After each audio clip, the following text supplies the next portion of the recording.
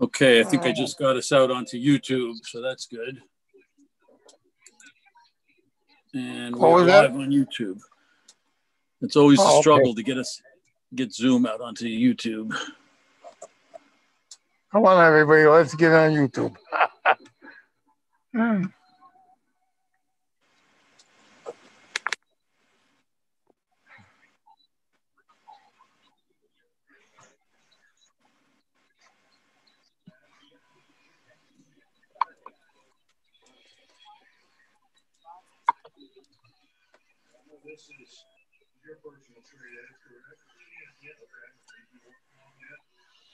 Hmm. Dave, I see it there now. Yeah, you know, it, it it always confuses me. The um, it's uh, we we ended up not being able to send out to YouTube uh, a couple times on the uh, New Jersey Club meetings, and I could never figure out why. And I just figured out why. You only the host can activate the uh, the YouTube uh, stream. So Ah. even though even though I have I have two machines signed in here uh, as the uh, host account, uh, only the one that I started the meeting from has the button to send out to YouTube. Huh. So I just uh, became less ignorant. So I'm calling this a good day. It is a good day. There's Ray. Hey, all right. That's a very Yeah. uh, very dapper attire you have on Yeah. there. Uh, don't turn I'm around because I got a funny feeling I know what the back looks like. Yeah, I, I, it is like that. I was gonna figure out a way to, like, kind of call it a cheat sheet. You know, dress up halfway up and look look normal. I said, you know what? I'm just happy to be at this meeting. I'm What's- like ecstatic over being at it. You know, apparently everybody dresses halfway up now. The statistics came in from 2020, and the uh, the sale of uh, business appropriate tops was uh, up dramatically, and pants did not sell at all last year. right? yep, I believe it. And there are people that go to these Zoom meetings that have half of the waist up, and they got just their shorts on. Ridiculous. Yeah. Well, if, if we if we institute a uh, an award for the uh, the the most uh, casual attire, though, you win. I win. Okay. Yeah. Uh, funny, funny. Uh, I'm gonna make the recovery again. I've, I've made so many in the last couple of months. I can't even count how many times I've been in and out. But they, they, you know, that lo- fixing hearts is kind of like fixing TVs. you see something, you burn it out, you change the cap there, and I, I told the doctor, I said, "Do you ever work on radios?" he says, "No." He says, "Well, you should. You- You're pretty damn good with the with, with everything else." He we had a guy we had a guy on the uh, on the Jersey Club meeting the other day. He uh, he had a he brought a friend to the meeting, and he said, uh, "This is my uh, doctor. He's retired now, but uh, he, uh, he he replaced a bunch of parts in me over the years, and now I'm teaching him how to replace parts in his radios." That's a good. That's a good thought. I mean, I have one doctor that actually personally calls me.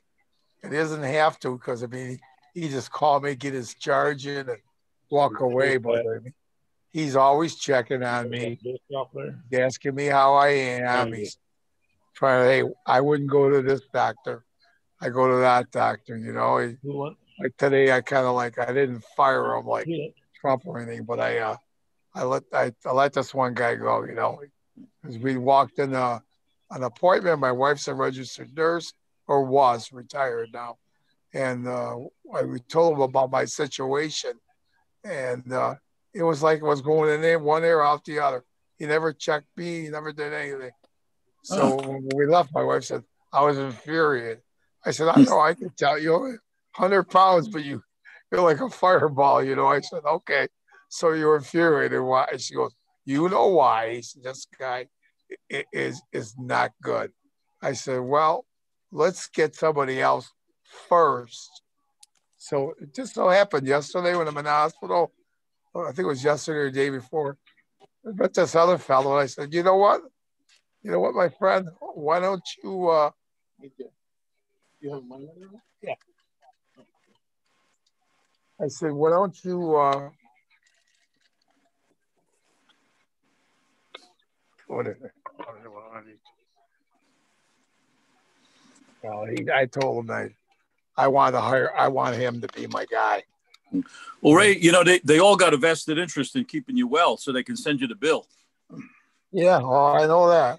But I told him why I want to be because I said, I'm looking for a guy that talks to me like you, man to man, doesn't beat around the bush and and you know like maybe you know like so I you know I like him, you know, and he you know he's he's a younger guy. I think he's like looks like me like he comes from India or something, but his English is impeccable. So I, I, I told him I need you to do this for me, and he says, "Oh, by the way," he says, "the other guy you got, the John Nato, he said he got in a bad car accident. He's out on medical. He'll be out for a long time." I had to laugh. I had to laugh. I, I like a doctor with a with a sense of humor, Ray. I, I went to see my cardiologist a couple months ago, and uh, he looked at me and he said, "I want all my patients to die of something else." I like his attitude. Yeah, yeah, good. Well, my guy's like that. My one guy, he's been with me for years, decades. But uh, the other couple guys, I only hit hit and missed. We have a guy out here in the Buffalo area that's he's the specialist. He's the one, the go-to guy for like veins in the heart. And they have another guy that does uh, I call like a shoestring repair. You know, he puts stents in and little things. They all got their specialty, you know. So it is what it is. So it was good talking to you earlier when I sent you that text. I tried to send one to David and said I'm going to get on this thing early. Oh, good to have you here. We got we got uh, 14 people checking in on YouTube already, so there'll be a lot more. I hope I can last for a while anyway. That's the other thing that happens when, when you're rusting a lot. You lose a little bit of track of. I'm a real regular guy. I don't even need an alarm clock. But I mean, just you wake up at three o'clock in the morning, you think you're waking up at seven. you're not, you know, and you're not tired, you know. Then you don't want to go to sleep. So there's a couple days I didn't even sleep.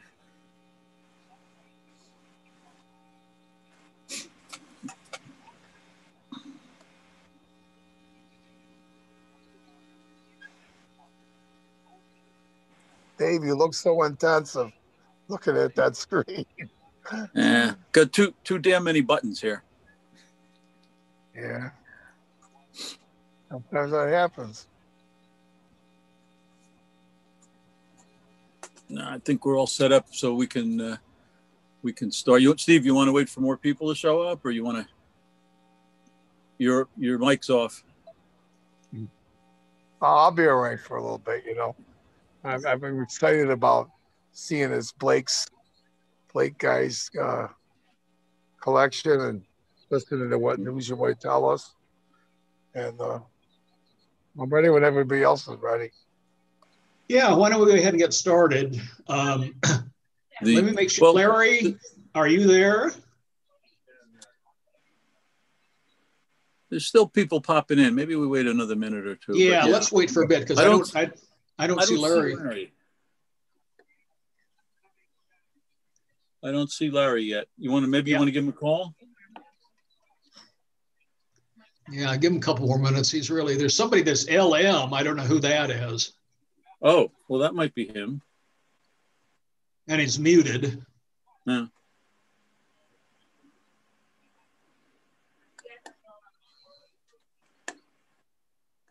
Earth to Larry.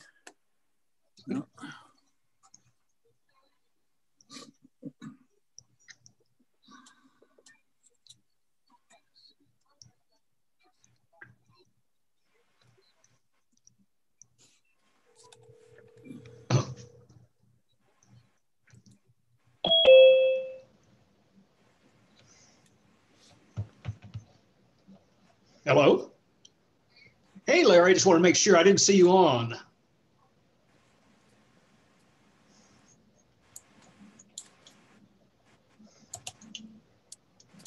Um, at the bottom of the screen, somewhere on there, I'm not using a phone, so I don't know, but there's a mute button.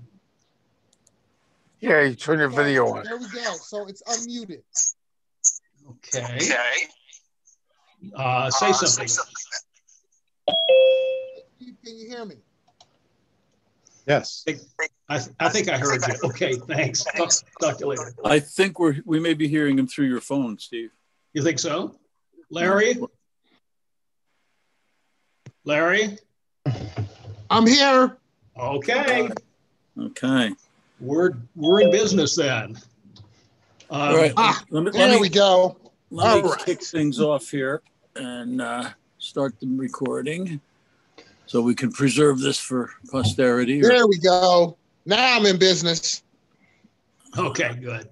Uh, Okay. Um, stand by just just a second. Hang on. I want to. Yep. Want to start this here. Um, okay, we're good. All right. well, welcome everybody to the uh, January meeting of the Early Television uh, Foundation Society. Um, glad to see you all.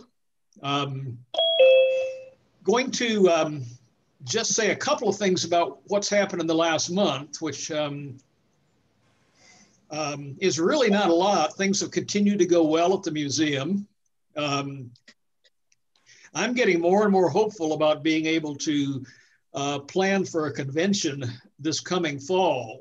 Um, we'll play it by ear and see how things go, but um, I think that's a possibility, and it would really be really be nice to to uh, to do that if it's uh, if it's safe. Um, we have we just passed um, 120 members for um, 2021, and that's ahead of where we were last year. Usually, we get people dribble in during the year. Uh, we had a total of uh, I think 186 last year by the end of the year. So if you haven't joined yet or renewed your membership, please do that. Uh, it's 35 bucks and you can do it on the side panel, left side panel of any page of our website, um, the, but, the box that says support the museum. Um, I'm going to start the, the um, uh, presentation tonight with, um, as we're going to do each month, and talking about um, uh, something, an interesting item at the museum. And this, um, month, we're going to talk about the our CBS field sequential Varicolor camera. Um, Larry, are you set up so you can so we can see your video? Yes, yes, I am. Okay. Oh, perfect. Hey, this is fancy. Um, yeah, it is. yeah, that looks great. Um, let me tell you, I'll just go over, I know most of you already know this story, but I'm going to spend a couple of minutes going over a brief history of the CBS color system. Um, the first color system was actually, that we know of, was, was done by uh, John Logie Baird back in 1928. And it was also a field sequential system and, and, and used a mechanical scanning uh, disc too. And before World War II, um, really uh, about the same at the same time as um, as um, iconoscope cameras were being developed. Uh, CBS and RCA and others experimented with color, again, field sequential. Um, and uh, then after the war, um, CBS uh, worked through the war on their system, perfecting their system, and made a real pitch to the FCC to say, um, hey, let's adopt a color system before black and white has many sets sold. Uh, and they did this because their system was um, uh, wasn't compatible with the, with uh, with black and white television. Um, and um, finally, in 1950, the FCC did a, a, comparison of where RCA was with their compatible system and CBS's system, and it was like night and day. The CBS system produced really, really good pictures. The RCA system was early in its development and didn't produce very good pictures. So um, the FCC authorized the um, um, the um, CBS to um, implement their system. Um, Larry, just let's go to um, number one, just that, so that make sure all of you know how the receivers in, in, in field sequential systems work. They have a, a rotating color wheel that, um, scan, that goes in front of the camera, uh, in front of the screen. There's a similar one in front of the camera and they're synchronized. So um, the three primary colors are transmitted one um, uh, sequentially, and thus the name field sequential. Um, the um, CBS system um, was um, oh let's let's pan over to the gray to the gray monitor, Larry, so we can show what uh, one of the pieces of equipment we have for um, for viewing field sequential color, and you can see the wheel inside, and it has a magnifier in it. That's a 10-inch CRT. We got that long before we got the camera. Um, one of the conditions of the CBS um, uh, field sequential uh, system that the FCC made was that they had to find companies to manufacture their sets. Uh, they were unsuccessful because RCA was making great progress at that time. Um, and uh, people could see the writing on the wall that it was going to be, um, that eventually RCA was most likely going to have a compatible system that worked. And so CBS was unable to get um, uh, any support for manufacturers for making their sets. A few were made, and there are a few, a few for surviving sets around. Um, the um, and then the Korean War came, around, came along, and the government declared that the motors used in the field sequential sets for the wheels uh, were needed for the manufacturing capacity for motors were needed for the war effort, and that's just what CBS needed. In fact, there's some speculation that CBS might have uh, pushed that along, uh, and that allowed them to uh, bow out of, of their system. Larry, pan over to the uh, RCA um, uh, prototype set. This is a 1952 um, set from RCA um, that uh, Nick Williams has loaned to the museum, and we restored it a few years ago. Um, it um, um, uh, used uh, didn't use the, the, system that they ended up with, but it was sort of. Hi, Chuck Azar here. Just got here. An interim step along the way to um, to their the set that was finally adopted as the the system is finally adopted by by the country as the NTSC color system. Okay, let's go back to the camera now. Um, in 2015, um, a um, uh, an anonymous source donated this camera to the museum, or just the camera head. Uh, now, inside it um, mounted horizontally is a 5820 image orthicon tube. Um, and then right behind the lens is a small um, color wheel. So let's go to that. That's number, what is that? There you go. Number three, the color, number drum uh, that is behind the lens. And inside that drum was a mirror that directed the image through the lens to the face of the um, of the um, of the image orthicon tube. Now, as I say, all we had was the um, was the camera head, and um, we made the decision to try to get it going. We had very good documentation from CBS on on what they used, uh, which of course was all vacuum tube, and that didn't seem like a practical approach. So what we decided to do, let's go back to the camera again, Larry, to number uh, number three. Um, we, uh, we, we, we had to make a um, makeshift um, mount for the camera, and you can see it on the bottom, and also a, a cable because it's not a standard, even though the shell looks like the ones used on, on, um, um, on RCA cameras, it's not, it's different. So we had to make a connector and a and you, we used an old cable that we had that had an, the number of uh, uh, leads in it that we need. Um, should say inside, they go back to the camera head again. Inside the camera head, all there is is um, the some voltage dividers, a video preamp, and a um, um, and a high voltage power supply that generates, I think, 1500 volts for the, um, uh, yeah, well, yeah, yeah, that's fine. You can go down there now. A high voltage power supply that was used uh, to, to, to, to, drive the uh, image orthicon. We were able to get all that work working and made the decision to use vacuum tubes for the sweep circuits because of the it was it was a much easier way. Yeah, stay down on that unit at the bottom, Larry.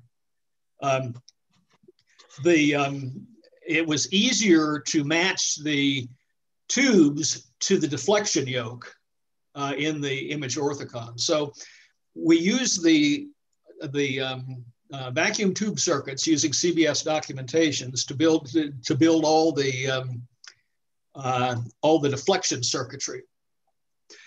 And then go up the, to the next one.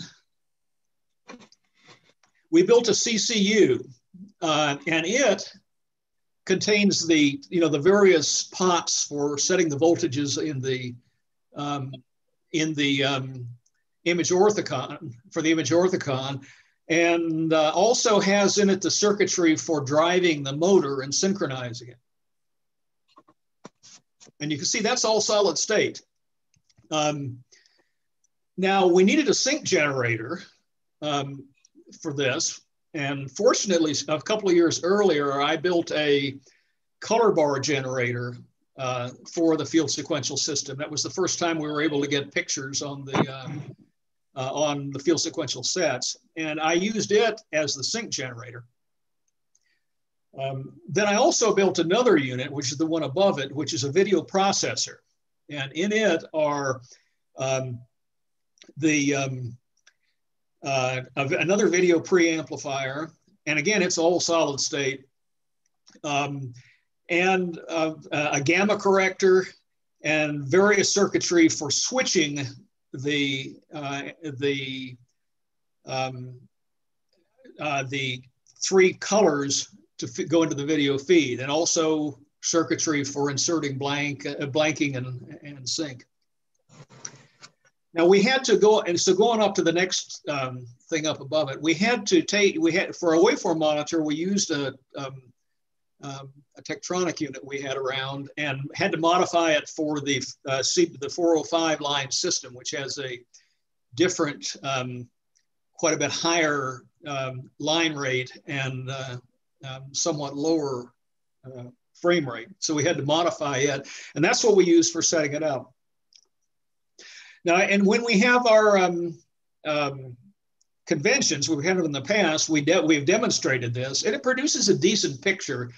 Um, I think if we took the time, there's the lights we put up in put for it, and um, um, then we have a color bar pattern that we had printed for setup purposes, and then um, we had people standing in front of it, and we can tell we could televise it. I think if we if we ever spent the time setting up and having somebody who really knew how to set up an image orthicon, we could get way better pictures than we have. But it's just sort of thrilling to see any kind of pictures out of something this uh, uh, this old. So that's um, that's my little description. Does anybody have any questions? Steve, uh, Steve, I was wondering about the weird, wild shape of the of the color disc. Instead of a pie shaped, it's all those angles and so on. I don't understand why. On the on the on the color wheel. On the wheel. Yeah. Um, well, that's because it um, it it's not big enough. The segment is not big enough to completely cover the CRT. And so it's designed so that as it moves down the CRT, starting in the scanning lines on the top, the filter stays over the face of the tube at the point where the scanning lines are, if I'm making any sense. So that's why it's uh, that's why it's made that, and that allows them to make the wheel uh, substantially smaller.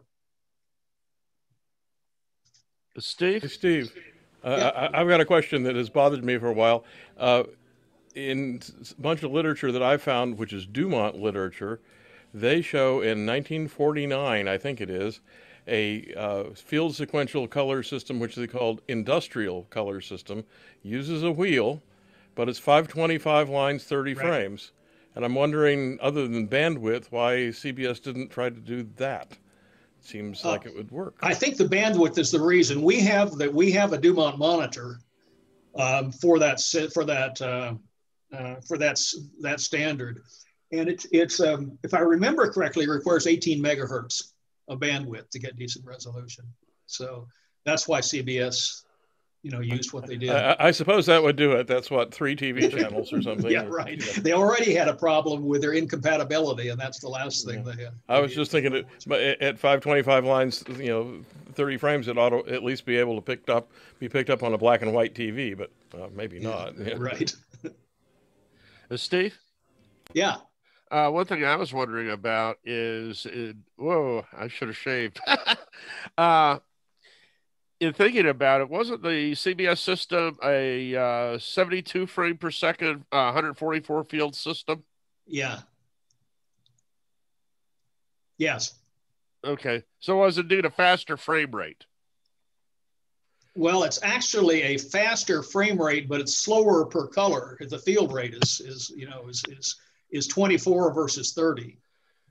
Okay, for the color it was 24 uh, yeah. frames.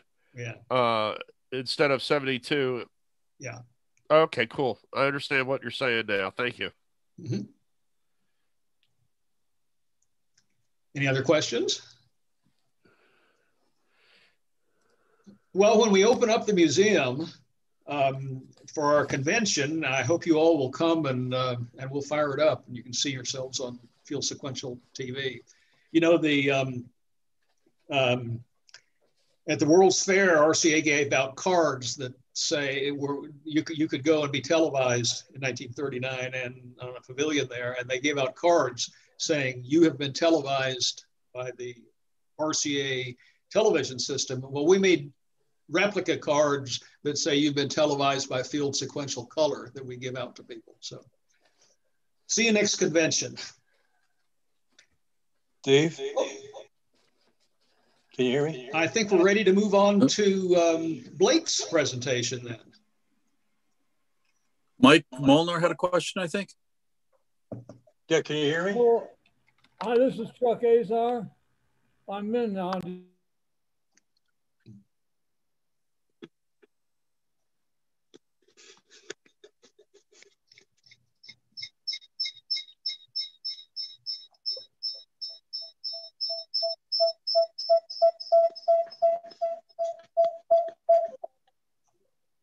Is Steve? Yeah. Um, my question was, what didn't CBS originally plan to uh, do this color broadcasting up in UHF somewhere to, to use the full bandwidth? And then yeah, that was one of the one of the one of their suggestions. Now, they what they actually did broadcast, they broadcast on, as I understand it, ten stations around the country, including the one in Columbus. Um, that that monitor we have came from Atlanta, um, so, but I remember at one point in the development, they did talk about using using a, using UHF channels. Okay, thanks.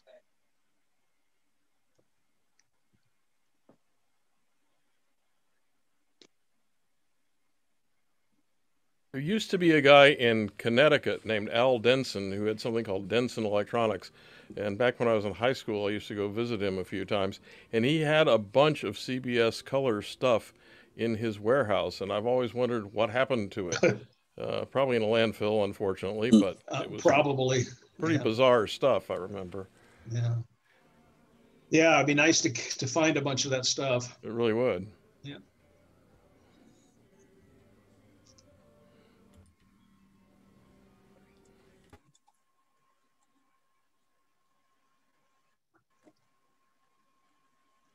So are we going to Blake next, or are we going to? Um, Can you hear me? Um, Mike. Charles Azar is trying to talk. Right. I just wanted to say I've joined. Can you see me? Yeah, we can hear you now too. Okay, great. Okay, fine. And happy birthday, Chuck. Thank you. Thank you. Had a good birthday.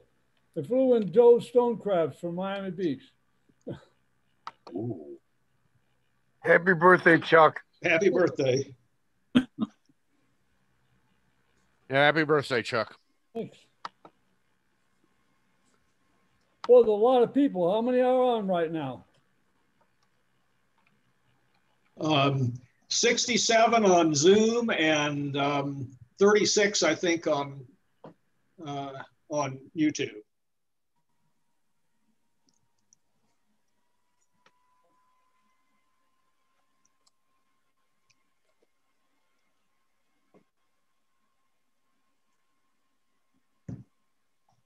Okay, who are we going to next? Oh, we go to Blake next. Oh no, we were gonna. Um, we had the um, the question, uh, the the uh, the tech topic. Oh, that's right. I'm sorry, I forgot entirely about that. Um, I was going to say I was waiting. okay, sorry about that. Um, yeah, the tech, tech topic um, was um, there, it was a little confusing. There was a question asked about um, was the CT100 the only set that took that was able to produce um, really accurate colors and and and most of the answers at that time were related to the phosphors in the 15G and in the 21AX. But there's also the issue of the circuitry that was used in the CT100. So um, both topic, let's talk about both topics. So anyone that has anything to chime in, let's, uh, uh, let's hear from you.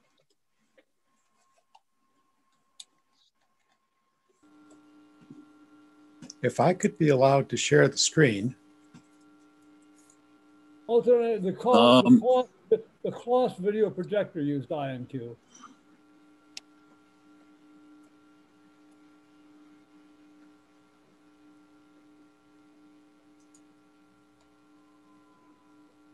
The I believe you can, David. Yes. The NTSC signal specification at the table below shows the uh, I and Q bandwidth, where the Q channel is basically half a megahertz, and the I channel is much wider, 1.3 it says here, 2 dB down. Uh, this gave original NTSC greater resolution in the red colors, and the CT100 had the circuitry to do this. It had two separate bandpass amplifiers for color and two separate delay lines to get it all lined up on the screen. I don't know if any other set had that. And I think that's one of the interesting questions. Is there any other set that had separate the, I and Q? The Kloss video beam projector had I and Q. But that's just the angles. Um, did it have the separate bandwidth? Yes, because the Kloss, the Kloss was much newer, very recent, relatively speaking. And uh, by then, broadcasters had gone over to Equiband and weren't transmitting the wide I anymore. I see.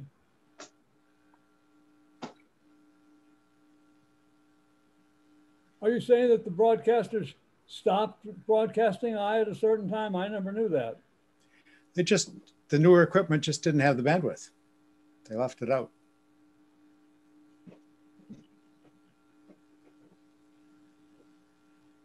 So does anyone know about any other early sets that had wideband I?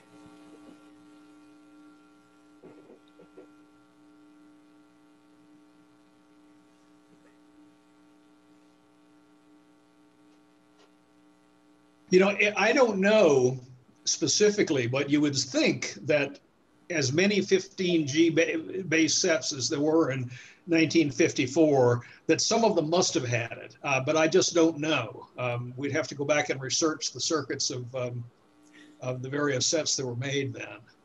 Well, if they had I and Q, there would be no reason not to have the wideband amplifiers, because that was the trickiest part for the phase shift angles.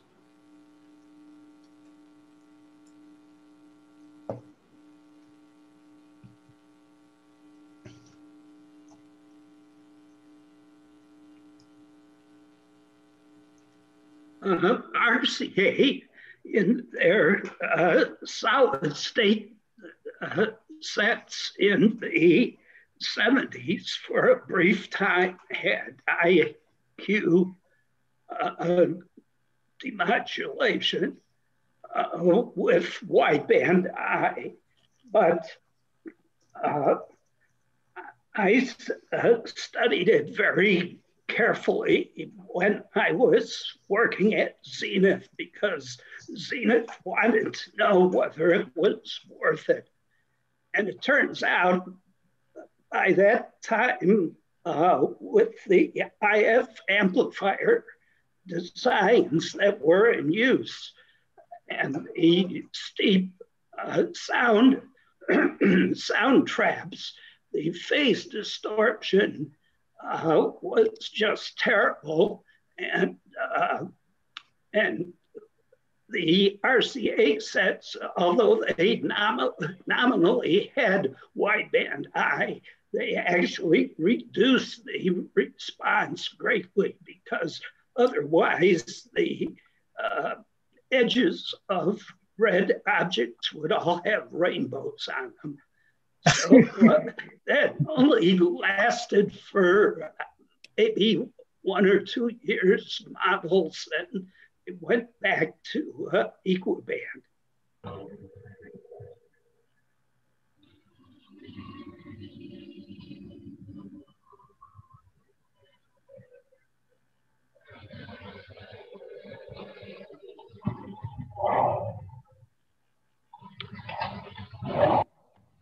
I have, this is Jim Manning. I have a separate question.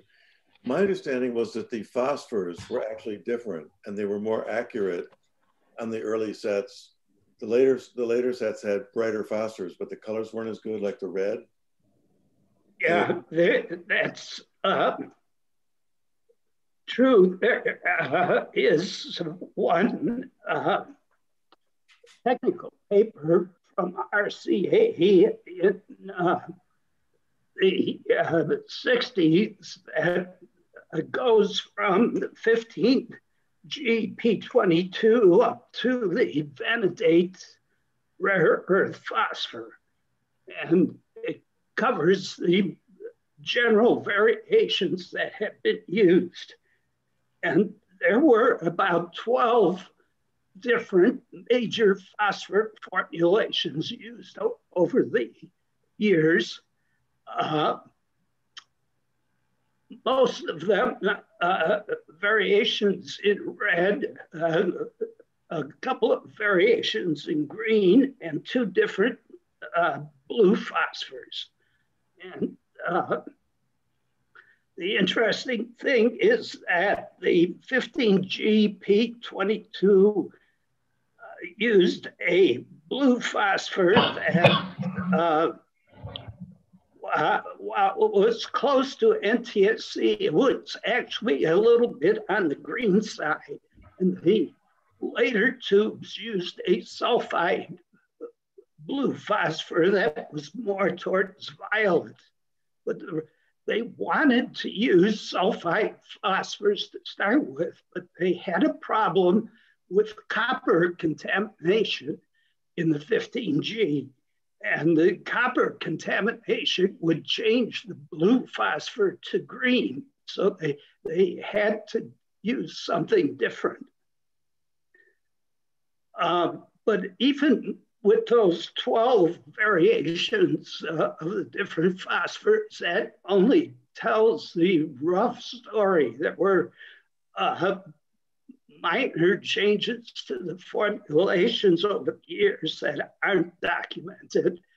And in fact, there's there's one paper that says that the uh, red phosphor that was nominally the same in the 15G and the 21AX was actually reformulated. It was the same color, but uh, much brighter and more efficient in the 21AX. Um, in terms of the color range that the tubes could produce, the 15G used a P1 green. And the really big change uh, in, in uh, subsequent years was to go to sulfide green phosphor, which is uh, not as pure green, it's more yellow. And, uh, and, and there were variations uh, in the green uh, especially when um, some manufacturers added cadmium, which made the green more efficient, but still more yellow. Uh, eventually, because of the toxic nature of cadmium, it was dropped. And, uh, and the manufacturers went back to a uh, zinc sulfide uh, phosphor, which is yellower than NTSC, but they kind of standardized on it. And that's the color that eventually became standard for PAL and also for high definition television.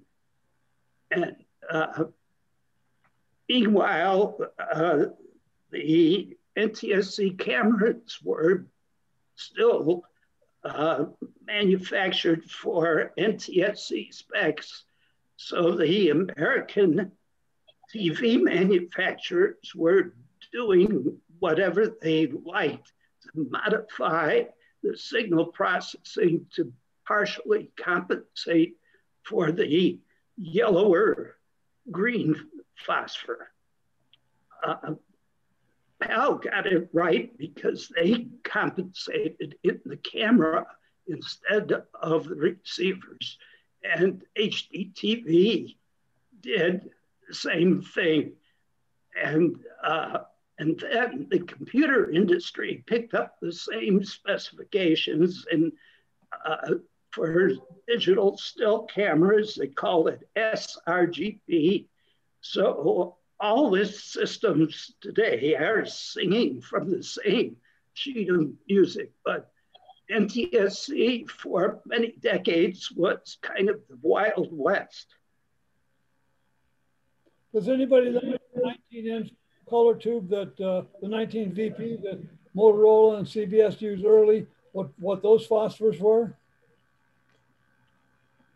Uh, no, I don't. I suspect that uh, they were similar to the 21AX to start with.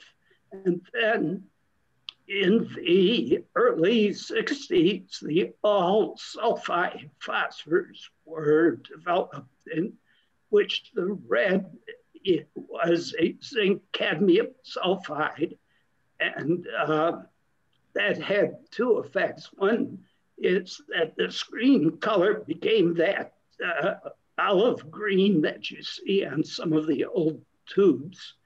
And also that sulfide red phosphor uh, was nonlinear and tended to turn orange in the uh, bright highlights. Um, the, uh, all the other red phosphors that have been used have been pretty close to NTSC red. It was really the green phosphor that varied the worst, uh, and the blue somewhat. Um, in fact, while I was at Zenith, um, the phosphor lab uh, decided to look at a, uh, a blue phosphor that was more cyan than purple uh, in order to balance out the beam currents somewhat. And um, they asked me to uh, look at uh, a trial tube and uh, set up the circuits in a set to match the uh, change. And um, uh, of course, what happened, which you might not think of at first, but once you think of it, it's obvious. You change the blue and you also change the complementary color, the yellow, in the opposite direction to compensate. So when you change one phosphor, you also change the complementary color. And in the case of the uh, early change in the green phosphor, it didn't matter because there's no common object that's magenta. So if the magentas come out a little more purple or a little more red, nobody would care. But if you move colors near yellow, you change the skin tones, and that just wouldn't fly. Hey, Wayne, uh, if, if I understand this correctly, and, and I very well may not because I'm no engineer, the we all of these different formulations were just one compromise or another. Uh, from the charts that I've seen, no color gamut of any color CRT came anywhere close to covering the full color gamut that the human eye can see. Would that would that be correct? Uh, yes, that's correct because it's a basic uh, issue of uh, the color of light sources and the and the mixtures they can give.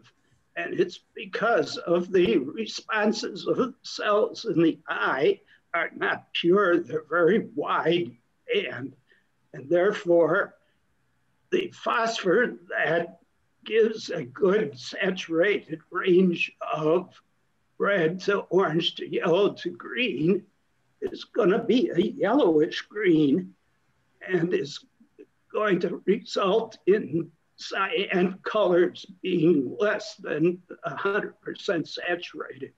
So even if you get a laser display that has very wide color range, it's generally going to be missing some of the possibility in the cyan region. Uh, this is not a, a difficulty in terms of practical use because it, this characteristic of the eye also means that you can't make paints and inks that are cyan and very saturated.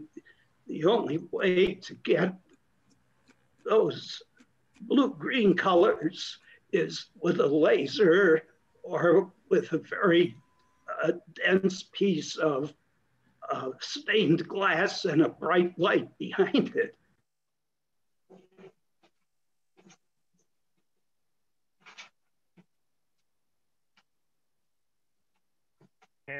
Camera manufacturers were forever playing a game of catch up with the tube manufacturers. Yeah, this uh, situation was like the old joke about the uh, guy in the clock tower setting the clock by when the train arrives and the uh, train conductor setting his watch about when the bell rings in the clock tower.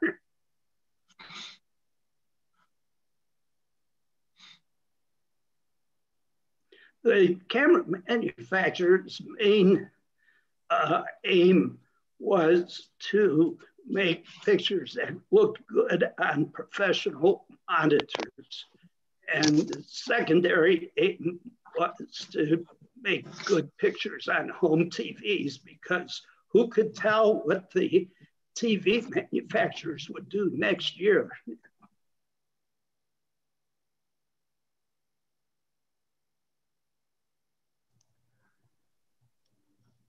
Are there any more um, comments?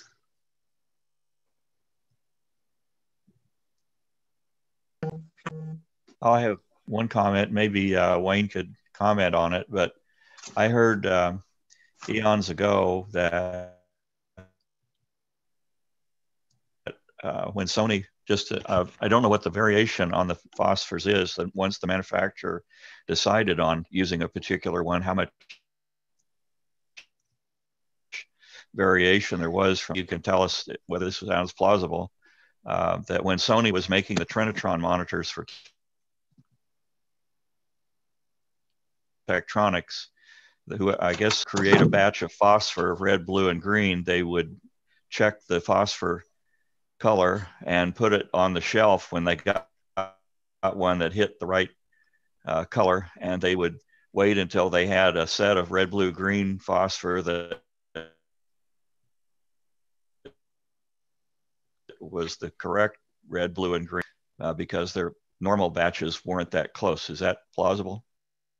Uh, very plausible. In fact, um, the uh, C phosphors. You know, they had uh, uh, several different proposed exact phosphor colors for SMPTE standards, and they eventually settled on SMPTE C. Well, the C stood for CONRAC because CONRAC was using custom-made tubes that uh, may have been manufactured by RCA, but were manufactured with a uh, selected set of barrels of phosphor material, and they did not run with the TV uh, regular production. They they had those uh, barrels stashed away, and those were used for the CONRAC monitors.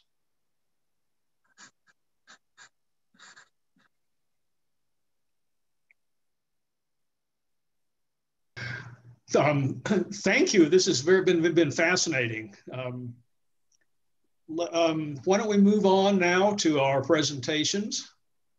Um, and I'm still confused as to who's going first. Are we going to have, because I know that um, um, Mike had wanted to start. Yeah, we're going to, what are we going to do? Blake. Blake's Blake. going to go now. Yep. Okay, sounds good. You're up, Blake. All right, I'm just getting myself off mute. Good evening, gentlemen. Um, for those of you that don't know me, my name is Blake Hinkle. I'm 28. I live in Ashtabula, Ohio. I started collecting uh, two year about a little over two two years ago in November of 2018. Um, I mentioned that just because I think I've gotten a lot of a lot of comments that my collection is pretty vast given the short amount of time that I've uh, kind of specialized. But at any rate, um, I got with Dave earlier uh, this week, and uh, I I did a, a video, kind of a research, a video essay on the history of Predicta that I found um, that a lot of people have found to be super uh, informative. And I figured it would be something neat to start the video off with. It's only a little less than five minutes long. I did it a little less than a year ago. It's got a lot of stock footage from Philco stuff I found online. Um, and I think from there, that would be a, a good place to start. And then we could get the full tour. So uh, without further ado, do you have that ready, Dave?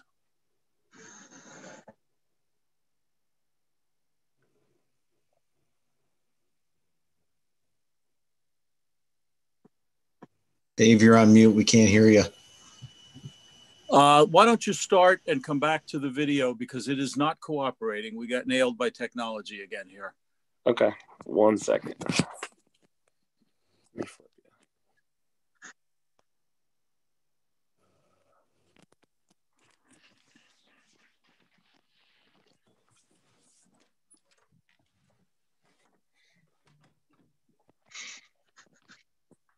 Just trying to figure out. There we go.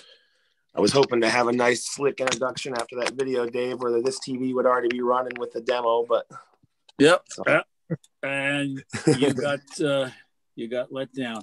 Um, it's all right. Let me let me try to run it from. Uh, hang on. Let me let me see if I can uh, if I can run it from YouTube.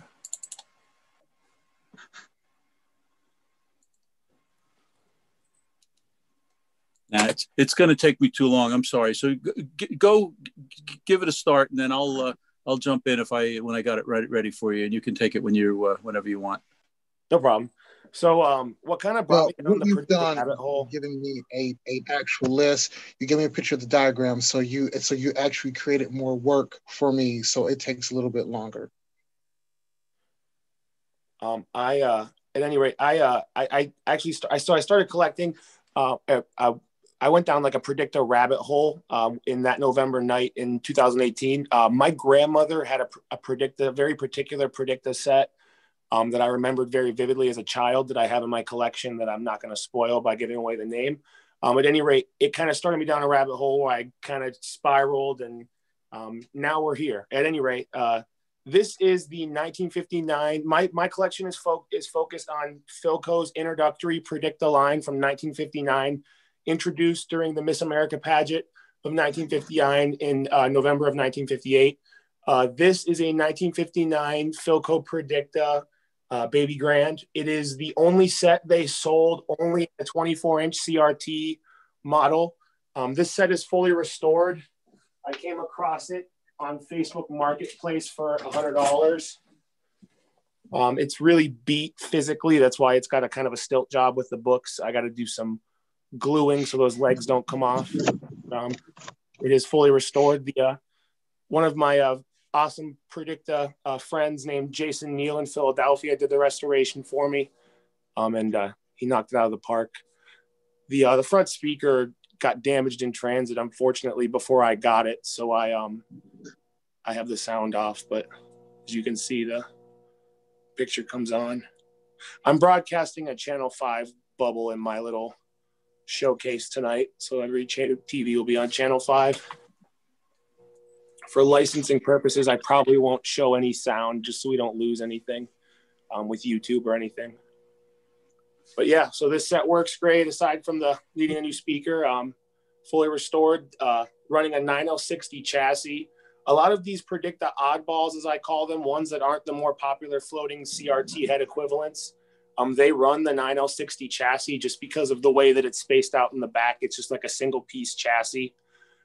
Um, it's kind of a dog. but at any rate, uh, this is the blonde one, and as you can see, it works great.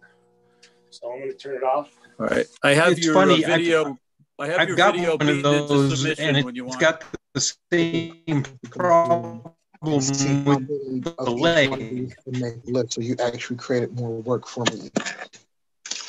So, so it takes a little. Let's It's say take a little bit. I You're have not your presenting, video please put yourself ready, on- Blake, if you want it. Yeah, if if um if if if ever if if I could remind everybody to get themselves on mute, please, and if Dave, if you could go ahead with that video, that'd be awesome. Okay. See, my ability the of leg. each one of these to make lift, so you actually created more work for me. The TV industry was not in good health in it takes a little. Let's say I- take a little bit. The country was going. I through have a your presenting, video please put yourself ready, on. Blake, market if you want it. Seventy-five Yeah, percent if of if all um households had a if if television set. if ever remind everybody to get themselves Philco on mute, not in please, good and if shape when Dave, the if you be awesome. RCA was Okay. pushing couple the history. See, my lift, so you actually created more.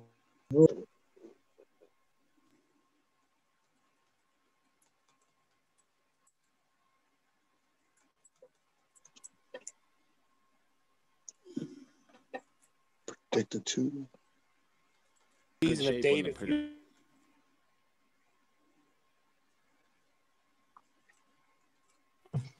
you See, my the history of Predicta. lift, so you actually created more. The TV industry 57. The country was going into a mild recession and the TV market was saturated. 75% of all households had a television set. Predicted Philco two. was not in good shape when the Predicta came please, out. and if Dave, if RCA was pushing color sets and dominating, while Zenith was pushing the reliability of hand wired sets. Philco had to do something to carve its difference. To combat the color frenzy, Philco on design The and country was monochrome going into a technological mild recession. And Philco would do as it had done before and allow its 75% R&D department to show the households way a for the concepts of the future. The Predicta was a Philco chassis was not in style good of shape when the console Predicta and came tabletop out. sets, occupying RCA minimal was pushing space, color sets and the theater dominating, view, with while the picture Zenith was just pushing the reliability of hand-wired sets. Philco had to To do give some something to proper carve credit, its. We must mention the team responsible for the design revolution. Osweiler joined Philco as a manager of industrial design for consumer electronics. He had studied at Chicago School of Art before serving as a captain in World War II. Gosweiler was very excited at the prospect of the Predicta. The what do you think? Will it sell? Alan was so concerned with the ra- and changed the subject. Predicta was announced on June 2nd.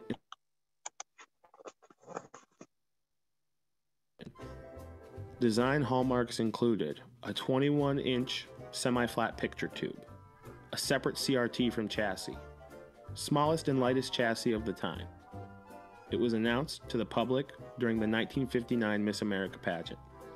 I would like to be one of the first people to present to you your gift from our host, the Philco Corporation. Your television set named in your honor, the Philco Miss America. It's lovely. The 1958 Miss America pageant has been brought to you by Philco Corporation, creators of Predicta, America's newest and most advanced television. See it at your Philco dealer. Well, do you have any guesses as to who she might be? Now, I'll give you a big clue. She's lovely. And here's the lovely TV set named in her honor. Miss America. At first, Predicta seemed to be a great success for Philco. The stock prices rose strongly. Consumer Bulletin claimed it appears to be a useful approach to the long awaited flat wall type TV. Philco seemed to pour money into the R&D of these sets, getting the CRT as thin as possible and using a new plastic composite to house the CRT. Philco was also obsessed with saving actual space and weight with the components of the TV and was pioneering the use of printed circuits in these sets. The radical shrink of main essential hardware contributed greatly to the excessive heat the Predicta were known for. Unfortunately, things soured quickly shortly after this bit of good press for Philco. Consumer Reports criticized the tandem, citing Philco's picture tube, calling it somewhat lacking in crispness or detail, furthermore calling the price much too high, and saying the CRT is still 35 pounds and heavier than most portables. Philco dealers at the time ultimately cited the unreliability as the death of the set. Many were told to keep as many replacement CRTs as possible and stored many extra chassis boards to swap out. The tube reportedly lasted six months, and dealers were reported to have made much more in warranty pay from Philco than any sales of the actual sets. After this news spread and the design novelty wore off, the public quickly soured on the Philco Predicta.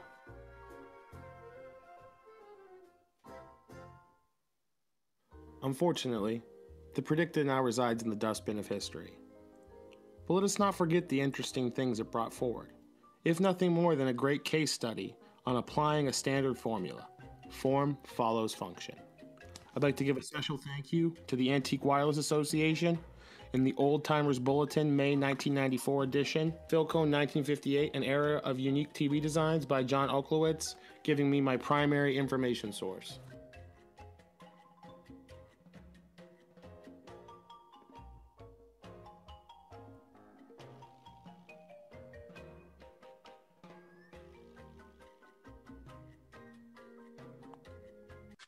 The history of Predicta.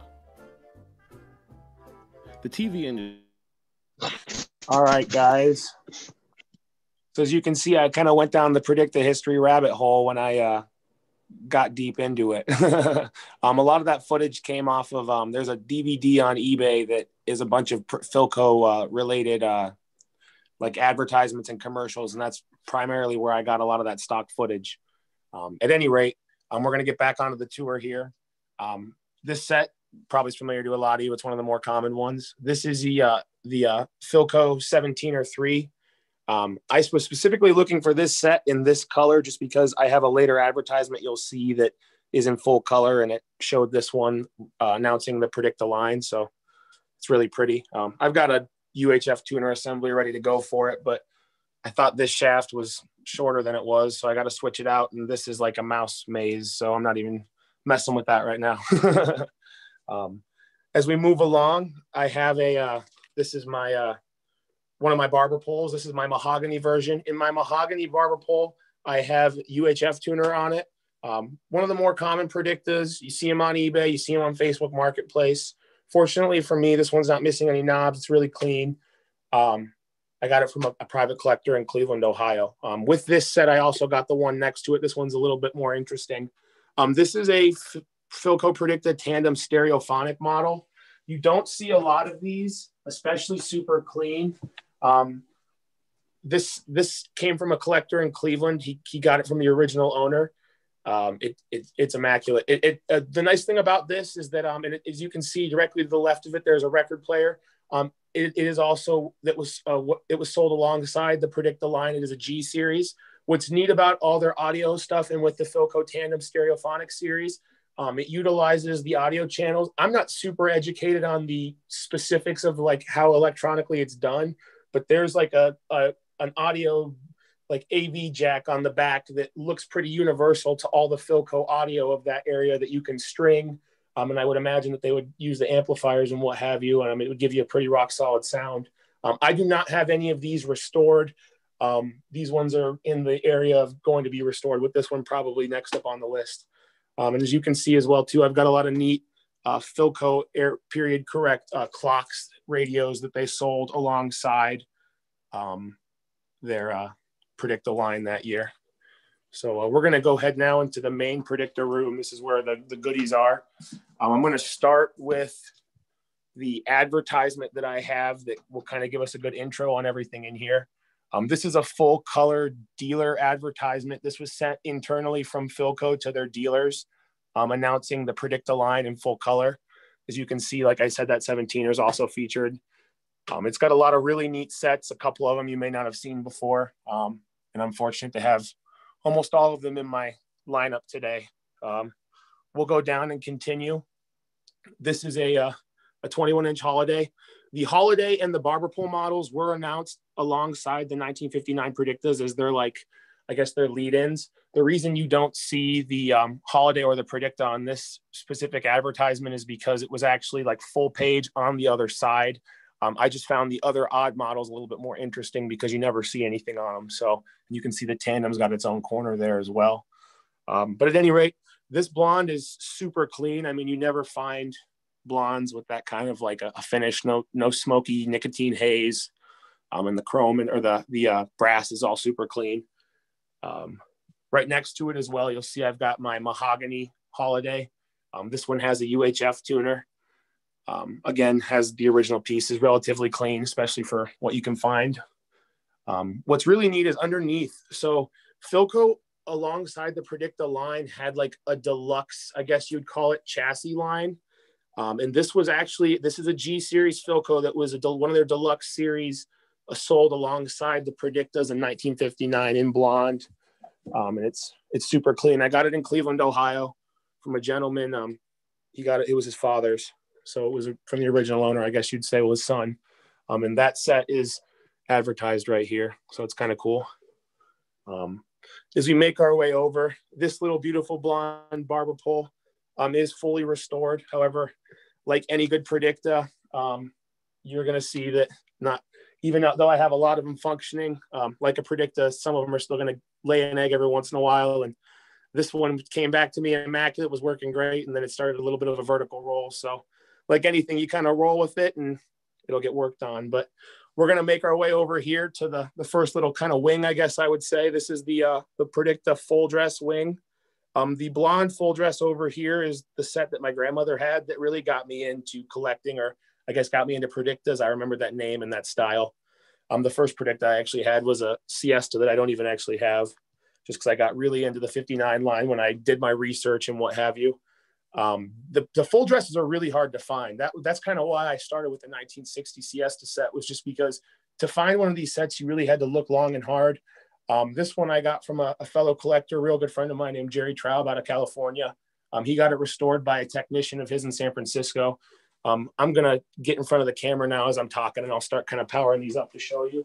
Um, these have all kind of been restored by different technicians, um, but they all work really well. Uh, these sets all use the 9L60 chassis, which again is um, that bear of a chassis that I kind of mentioned. Um, Dan Jones did work a lot of the, the Predicta Master in Detroit, did a lot of the work on um, these two sets here. He did, did it on these two, restored these two for me.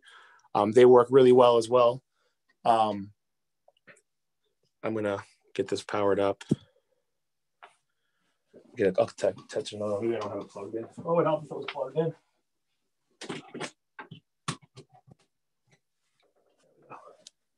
Sorry about that, guys. Dan, are, are you on the call? Do you have anything you want to mention about how awesome the 9L60 was to restore for predict compared to other normal predictas? I know a lot of these guys have probably tackled normal predictas. Well, it I don't know how you'd call it awesome. Um, it has a lot of the same issues that the other styles of Predictas have, but the weird thing about it is it's a very long, like rectangular chassis, and it's kind of three dimensional. You've got pieces on the top. You got on the on the left hand side of the top is your IF strip. The right hand side is the deflection board. On the back, you've got the 5U4 rectifier. They didn't use this the uh, germanium diodes in this one. Um, power transformers on the opposite end, so at least the 5U4 is not cooking the transformer. Um, you also have a lot of point-to-point wiring on the back, and then on the front you have the flyback box, and then to the left of that you've got the video and sound boards and the synchronization.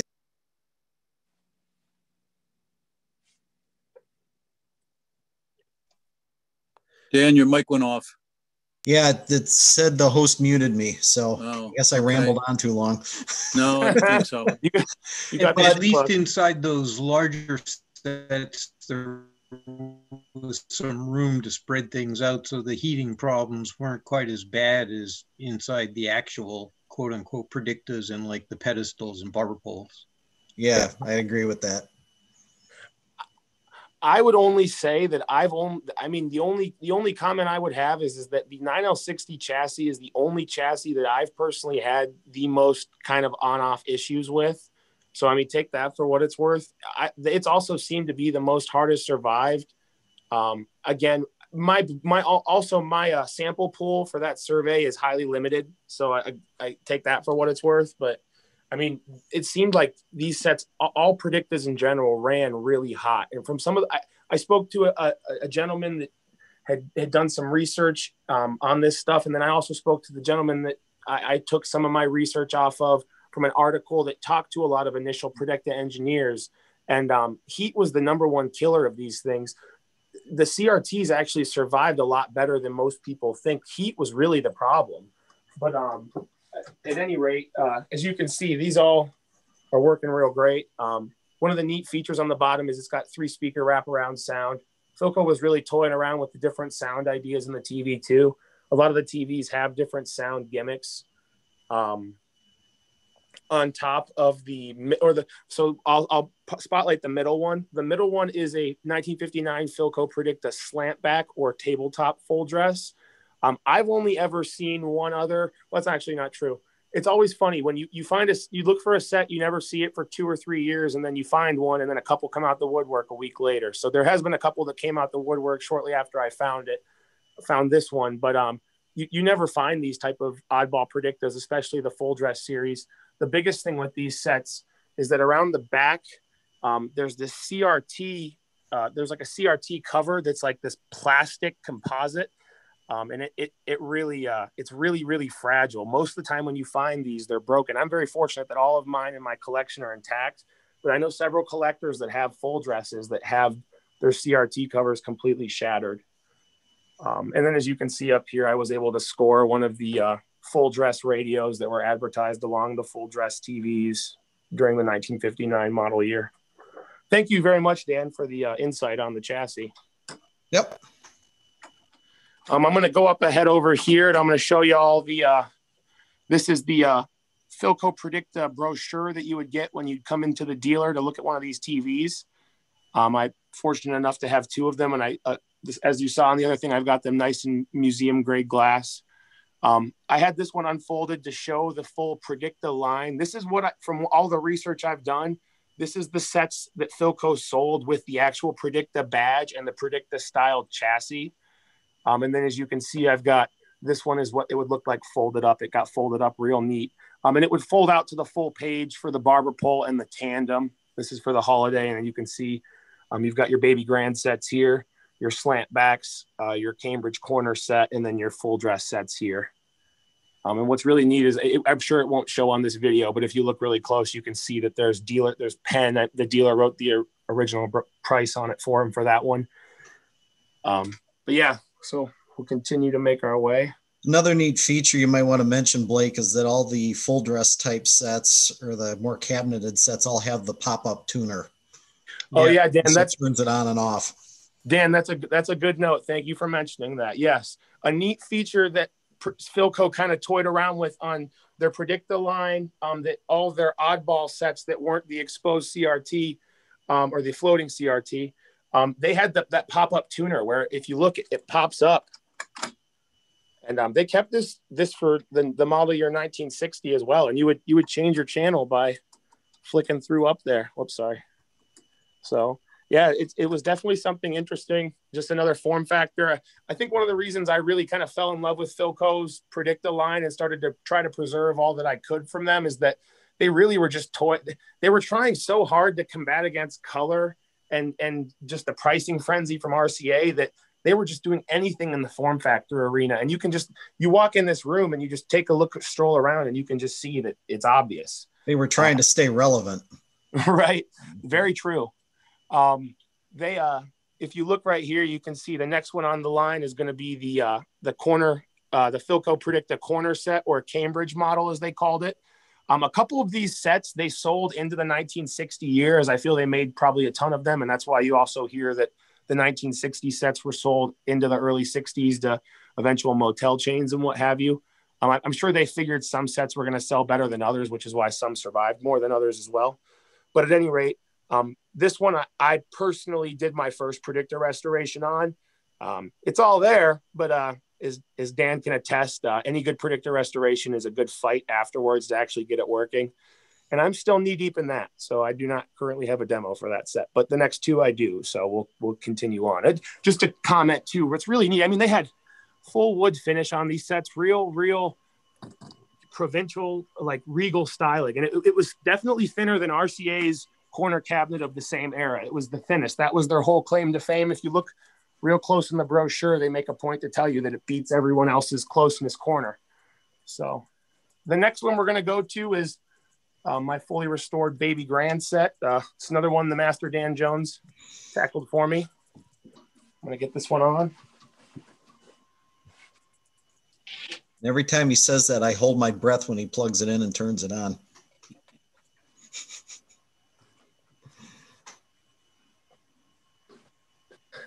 It seems like most of these sets were also uh, of the hot chassis variety. Uh, like the Siesta is not. The Siesta was easy for me to add like a direct audio and a video input, so I could go directly with a DVD player or a cable set top box. But a lot of the other, like the Holiday and the and the pedestals.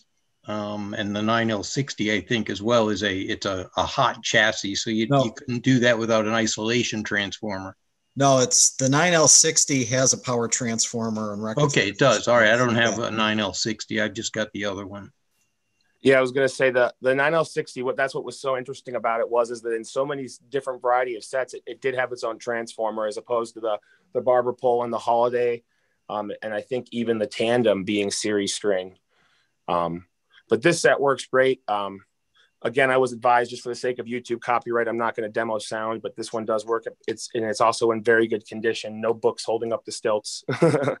um, I just again want to comment on the form factor. I mean, this one's almost Art Deco-y. My shadow's kind of killing the, the, stilts of the legs, but you can uh, you can see that it's just the design of it is just it's it's striking. All the sets I, I would argue are very striking in their own right.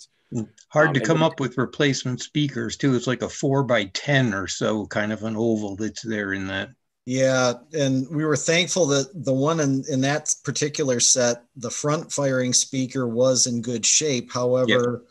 the side firing speakers, I think mice got in there because the paper yeah. cones were completely chewed away and they even chewed through the voice coil wire. So fortunately, those are I think they're like four inch round speakers. They're very easy to get. So we were fortunate to be able to get replacements from DigiKey and put them in there. Yeah.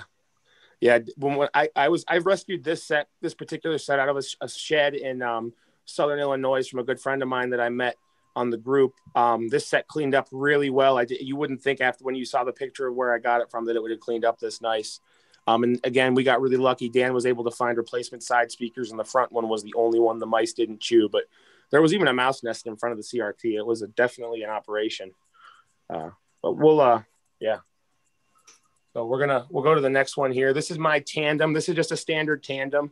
Um, this one is restored, And one thing I do want to highlight that's really neat about this one is I did come across an actual tandem extension speaker on eBay. I got it for next to nothing and it works really good. So I'm going to break my sound rule and just show you guys that I have a working tandem extension sound speaker with setup. It's pretty neat. Now this set just got back to me from this one was restored by my awesome friend Larry Whitlock. Um, Larry just just a, a, shameless plug because I love the guy. He's one of the only members I know that sells turnkey Predicta. Um, and that in and of itself is an art and a challenge. So I, I want to commend Larry for doing that for the community because it's awesome and he's a great guy. But at any rate, I'm going to demo this for you. Hopefully, we won't have any eggs.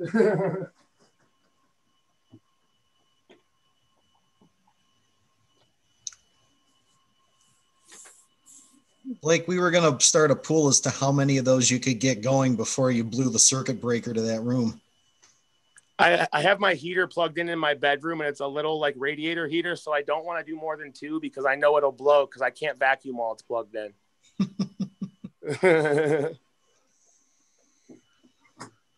Our friend uh, Tim Poliniak is known for saying uh, that there are only two types of vintage televisions uh, those that have failed and those that are currently in the process of failing. yeah, and how? Sort of like all boats are sinking, just at different rates. Could I ask a question about the the plastic on the floating CRTs? Sure. Um, I have one pedestal, one siesta, and three holidays, and they all basically, except they all basically have that same plastic floating CRT cover, but three of mine are fine, and the other two give off that awful plastic mold smell and start turning white in like you know once a week i have to wipe them down. And they're, they're, they're, they all look the same and they're all in the same room. So i don't understand why three are fine and two of them are doing this weird thing with the smell and the there's there's crud. speculation on there's speculation on formulations Philco was using. I can only say that as far as my research has shown, Philco kind of at the end there, they were like almost not solvent the last couple years. They were really running there, so they were running pretty shoestring and using what they had in house. Um, they spent a lot of money, I think, developing that composite with Eastman. I could be incorrect. I know Dan knows a little bit about that too. Yeah, um, the the the, the tenite that they used for it, in which oddly enough, they still make tenite today. Eastman is still in business, and they've since made corrections to the chemistry to combat the smell, the butyric acid when the plastic breaks down, and hazing things like that. So, if you could mold new ones today out of tenite, they would last a lot longer. But um, you know, that there's been some speculation that there was a link between the green tint that they mixed in with that, because if you look through a Predicta screen cover by itself, it's green. Yep. Um, to counteract the glare of the CRT. Uh, some people have noted that the deeper the green, the more resistant it seems to oxidation. I'm not sure why. I don't know what type of colorant was used.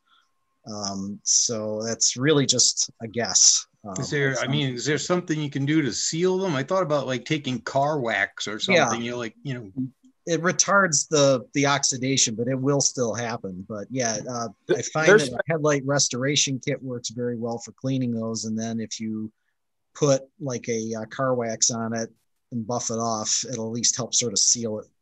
Okay. So so I've actually I have something to contribute on on this point. Um, although it would be impractical for something as large as a CRT face, um, this problem occurs quite frequently with smaller items like knobs. Right. Um, especially the clear plastic objects. Just one second. Xcelite screwdrivers were notorious for that too. The old ones. I know that there's been also uh, there's been some talk that um like like tire sealant as well as um like these here convertible sealant. So these are those clear plastic knobs this is actually from a radio. And what I've discovered, these were just white, just absolutely white. And there's all these little nooks and crannies, very hard to clean by hand. Yep. The trick is you take these and you put them in an ultrasonic cleaner with nothing more than distilled water and detergent. You don't need any harsh chemicals at all. And you run it for several hours. And you got to be careful if there's you know writing or whatnot. But if it's if it's just the tenite, it doesn't seem to hurt the plastic in the slightest. and it all comes off, like down to bare plastic. It's really quite impressive. Um, but you you've got to let it run. Now, even inside, I don't know if you can see that, but even like inside where the shaft went, they come clean. Um, and it's you know again just a, a strong you know detergent and um, distilled water and an ultrasonic cleaner. So that would be my recommendation if if possible. Um, well, as for keeping them from coming back, uh, your guess is as good as mine. I found that keeping them in a nice, dry, low humidity area seems to help. But one point, yeah. or to your point, I should say, is that the on the back side of the Predicta screen cover, it actually has a painted outer bezel. Mm-hmm. So that's what makes that kind of turquoise uh, border around, or frame around the actual CRT. So I don't know if that would take that off or not, but I've got some bro- um, ones that are broken apart here that I could probably use as a guinea pig and try because I do have an ultrasonic cleaner, so I could cut a chunk. I think you're muted if you're trying to say something, Adam. Oh, no, he's on. Yeah, yeah, I could, I could hear him. My son's name showing up here because he uses this for school. so. Yeah, no. I again, just to to kind of interject, I, have heard that tire sealant and convertible top sealant are also things people are talking about. And I know Dan, I think you mentioned that there was some type of a, a composite that that might be viable for with for using to seal it potentially. I, I don't without degrading the east the the butyrate. I I haven't had a chance to experiment with any, so that's right on. Had, something I want to do. I've had some luck with Armor All uh, tire foam.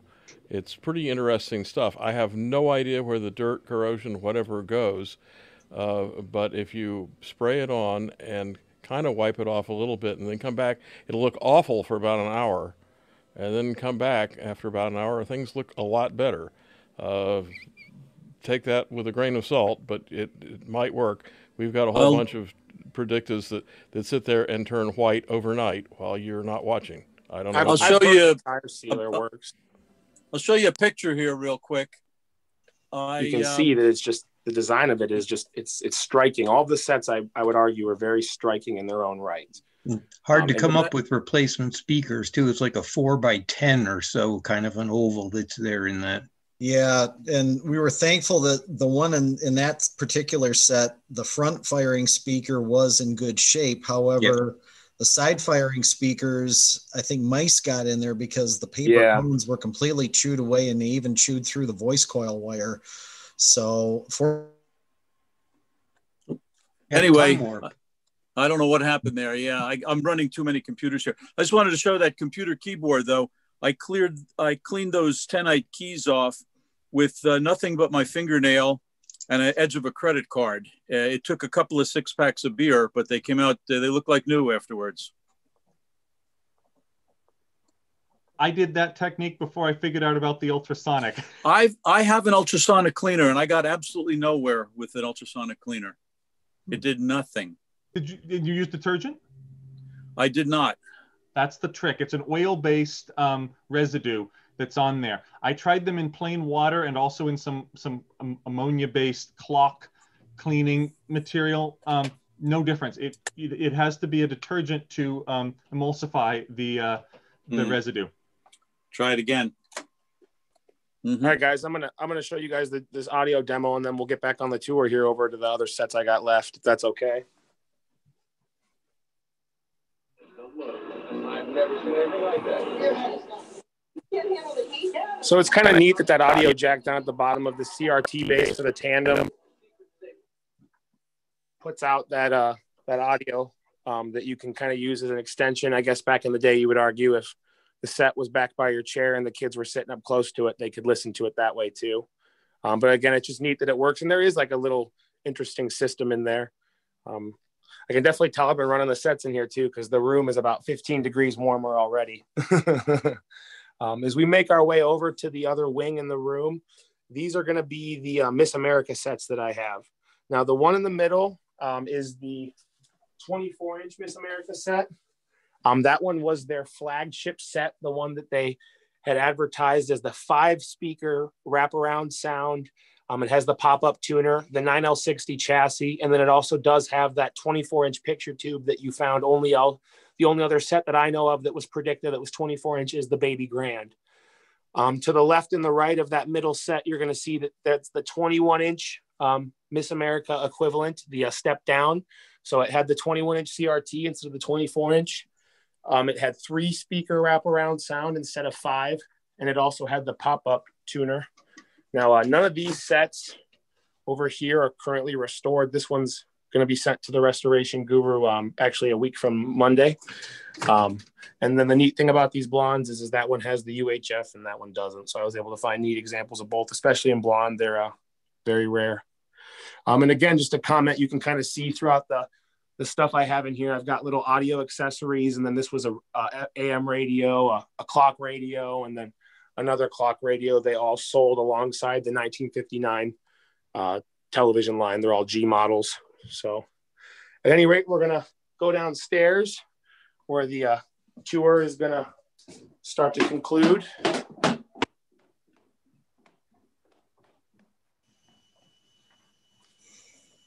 I got other people's TVs everywhere in my house. It's the problem with collecting, let me tell you. All right. So uh, a neat little piece that I just acquired is a 1958 Motorola early color set, uh, t- original 21AX, uh, unrestored, but really, really, really clean. I'm starting to dip my toes into the uh, early color pool. So, oh no. um, we're going to end the Predicta tour on my 1960 uh, Miss America 21 inch set. Um, there's a specific reason why. Um, it's got a really neat feature that Philco was demoing um, right before they got bought by Ford. I'll show it to y'all.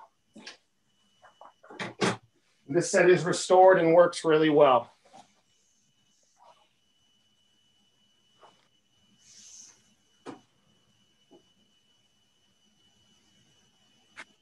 And again, to comment, I'm using a Blonder Tongue um, agile modulator for uh, channel five signal with a, a Roku setup. Um, I have a, a rabbit ear setup on this TV, but upstairs, as you could see, even farther away from the Blonder Tongue, you didn't need it. I had that. It's more redundant for looks than anything else. Um, but what's really cool about this TV is that it has Philco's Directa remote system. This is going to be a direct knockoff on Space Command Zenith technology. And um, this has a working Directa motor, and I do have the remote. So.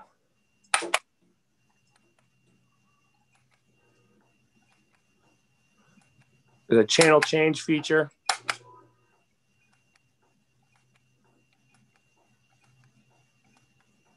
And then this other button is going to give you a mute feature, which is more or less just an audio dampen feature at that time. Um, then if I hold it down, it'll turn it off. But um, I've had some luck sometimes where it will turn off and not turn back on. So I'm not going to demo that. but um, yeah, so that is the 1960 Philco Predicta Miss America 21 inch set. Um, and it's the only 1960 I've kept so far just because it has the Directa working remote system. Um, I know kind of cliche, but my ultimate goal um, with these sets is to hopefully open a Philco Predicta museum slash foundation in Palm Springs, California, um, where I think something like this with this scene would just thrive. Um, and at any rate, um, I know everybody says they're going to open a museum, but um, I would only like to argue. Uh, I don't know if anybody would think that you would get a Predicta collection like this in two years. So don't count me out until you see me see what I can do. and with that, um, I'll open the floor to questions. So I hope everyone enjoyed. I worked for Philco from uh, 1962 to sometime in 1963. Um, and I didn't work in the TV division. I worked in the transistor division where we made uh, germanium transistors, which I didn't realize it, but it was a dying art at the time. Uh, and it, they were labor intensive. Uh, but a band who worked with me had worked on a color display uh, system called the Apple Tube. It, it never worked very well, but uh, he said it was rotten to the core. But Philco was attempting to do a color display tube sometime in the 1950s. Um, I left Philco in 63. Ford bought them in 63. I came down to Texas, went to work for TI then with silicon transistors, which have lasted. Very interesting. I, have I've I've want I've been very keen to see if if Phil, what Philco was doing with early color because at the time it seemed like they were really just doubling down on black and white because they had spent so much money in that direction. Um, they also just to kind of comment on Philco's financial predicament. I did a little bit of research um, through some articles online and some of the balance sheets that Philco actually posted um, at the end of their years and stuff. They really leveraged hard on NASA contracts and everything. And truthfully, I, I, from my understanding, the only reason that they were really survived from Ford was because they had a mission control contract. Otherwise, Ford would have probably let them go completely under. Well, uh, I was, they had a computer division, which may have been part of that. I was there when Ford bought them, and uh, I worked in the Lansdale, Pennsylvania division. Uh, and I think they did have someplace else a computer division, which was doing some things that I wasn't aware of. Yeah, they were very big on surface barrier transistor technology, which made for faster computers. Well, these transistors were diffused, diffused, uh, uh, just regular diffused germanium, bipolar, bipolar germanium. Uh, they were very good for their time, very labor intensive. Each one had to be hand soldered and hand wired. So it, it was a dying art. Wow. But yeah, they were very reliant on defense contracts. Um, you look through their annual reports and half of it is about the stuff they're doing for defense or computer work and um, you know they, they finally sh- i forget the year they shut down the computer division but they just they couldn't compete with ibm and they finally gave up. Right. I have a question. Uh, you guys were talking about uh, getting some information about what the engineers thought at the time.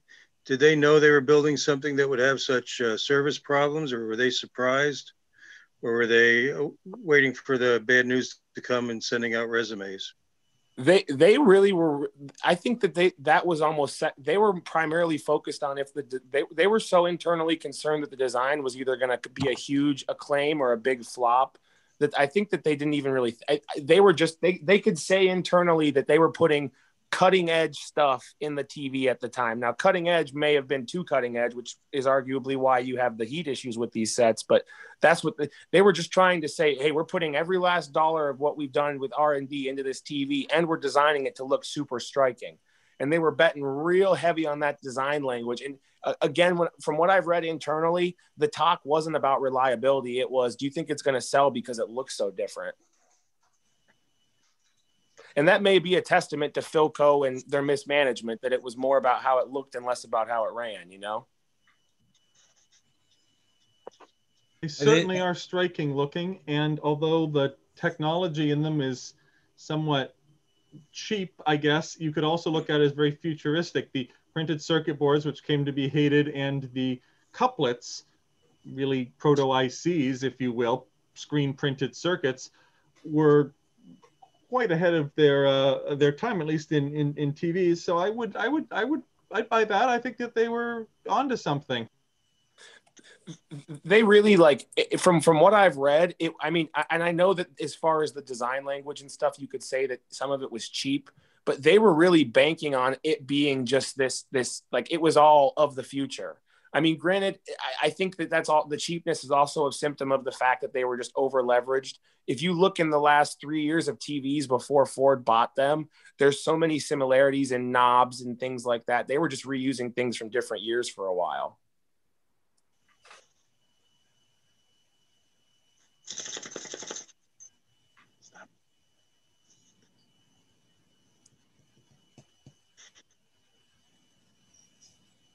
I think it's a good tribute from David Sarnoff saying that the Predicta made television interesting again, or something to that effect.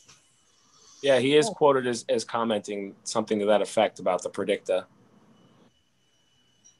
Philco, after Ford bought them, had great success though with a whole line of cassette uh, audio players, cassette with FM AM tuner. They made a whole line of them that were really very very nice and they were very saleable and were good, reliable products.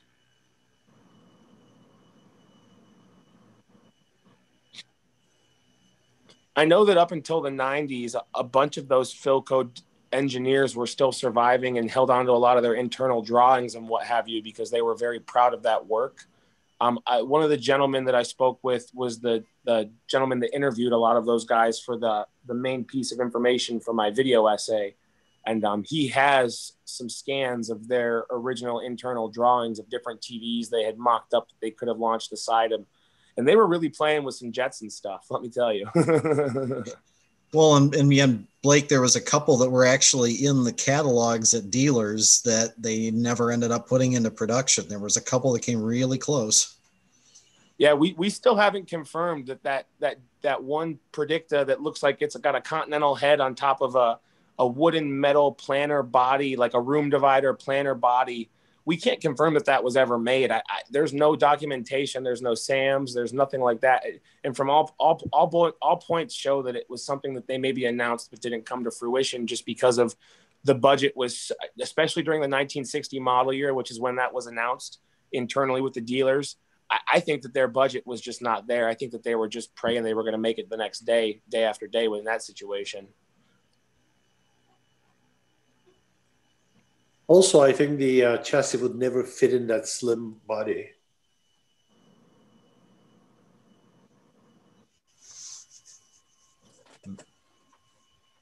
Oops. So, Blake, are you moving to Palm Springs from Ashtabula? I would like to, yes. Um, I don't, I, I, as I've learned in life, even though I'm young, I've learned that you can't really rush anything good. So I don't, I want to just make sure I have my ducks in a row all the way through. Um, Palm Springs, fortunately, isn't quite as populated as LA and that greater area. It's on the other side of the mountains, so it's a little bit slower, which I really like as well. Um, but I, primarily the weather um, and the mountains, and then just the uh, design aesthetic uh, would be, I think, a big. They have they have a, a, mid-century modern. It used to be a week, and now it's like three weeks in February, um, where they have people. They they have hundreds of thousands of people that come out there now for that. Um, and I think if done properly, that could really be capitalized on, um, especially out on the West Coast. It's very underserved for stuff like this, I think. What is your pr- career, your profession? Um, I'm I'm in home health aid right now. I manage a couple of homes uh, for the state of Ohio of, of developmentally disabled uh, gentlemen. Aha. Uh-huh. So I'm, I'm fortunate that I think that, that that travels pretty well. The medical field travels pretty well. Um, Blake, thank you very much. That was very impressive. Um, thank you, Steve. I, uh, uh, you've done an amazing job in a short period of time of, um, of, of, collecting stuff and having a, um, a bunch of it uh, restored, which is, um, as you know, very difficult yeah, Dan, Dan, Dan, nervously laughing. Yeah, I, I can see a 9L60 in my sleep. So, Predicta restoration is uh, temporary at best. Right, right. If, well, if you can go ahead. Shall we move on to? Um, I think Mike Molnar wanted to talk about um, his Admiral color set. Um, Admiral or it's a Zenith. Zenith, Zenith, right. I knew it was one end of the alphabet or the other. Right. Um, so why don't we turn it over to um, Mike and uh, learn about um, the uh, Zenith color set. Let's see. Soon we'll start capturing everything. Let's see. Is that picking me up? I need permission. Uh, you should be good.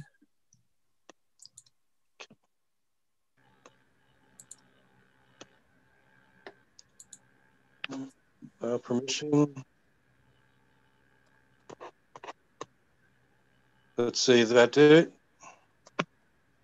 You're coming up.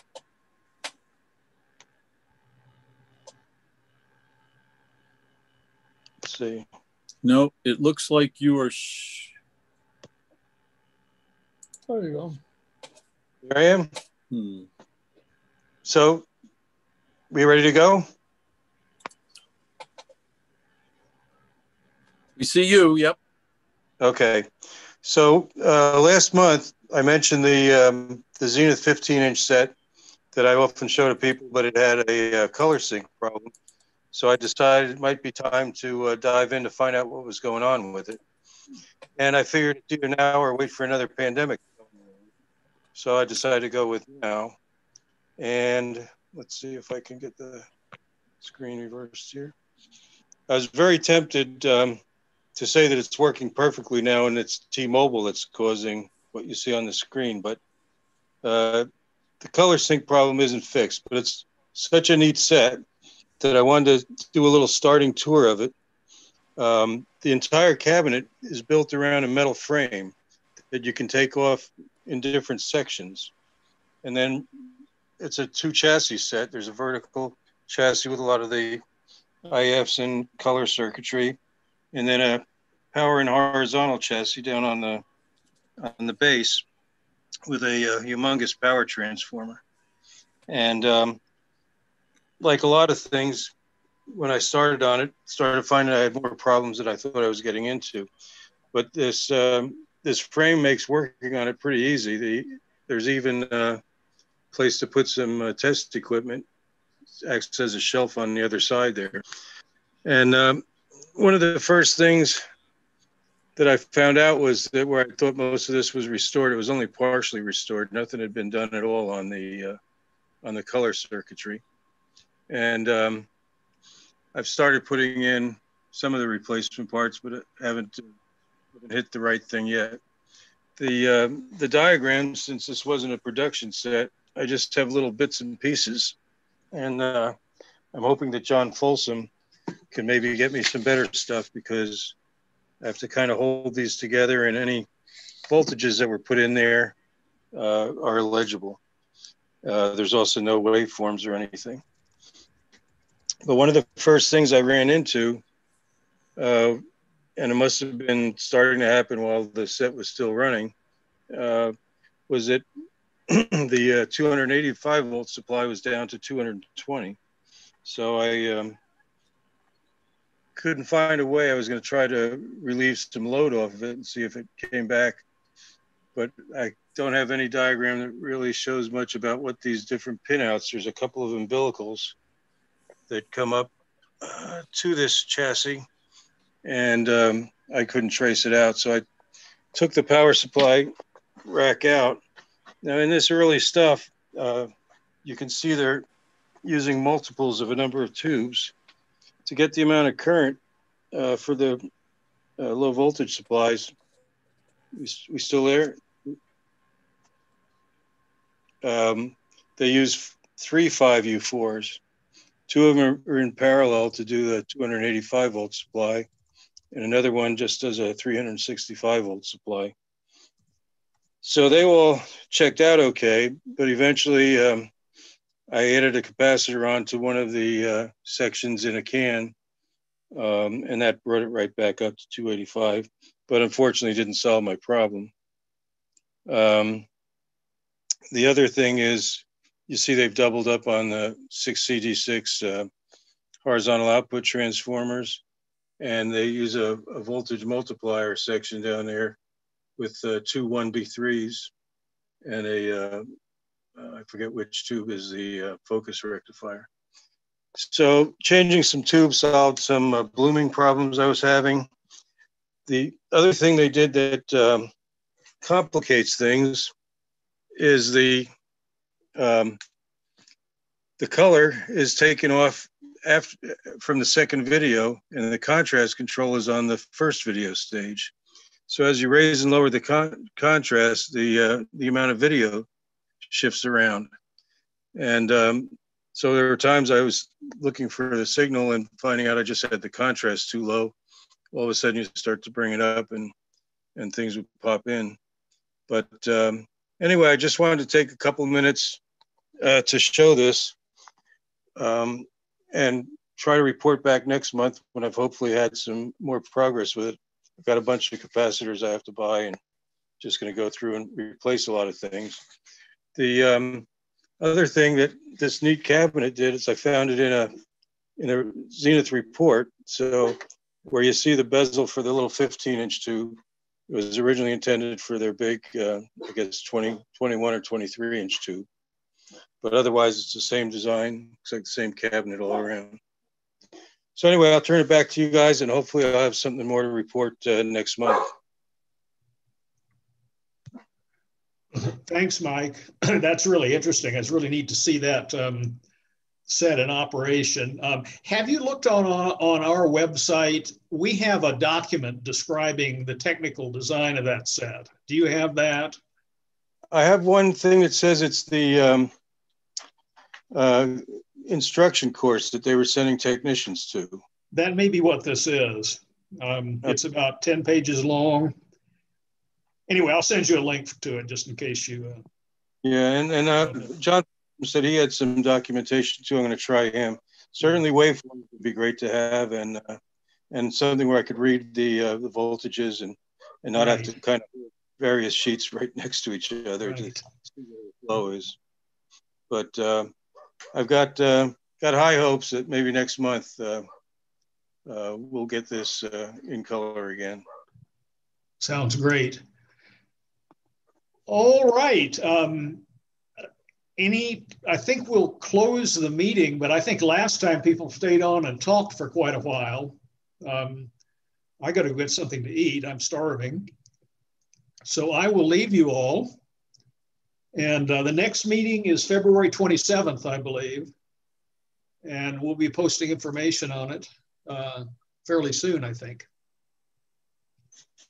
So Steve, if I could, um, yeah. I just want to mention quickly that if anyone really wants to see the gory details of what it's like to restore a 9L60, I did a YouTube series on Blake's um, full dress restoration. Um, I think it's six or seven parts to it.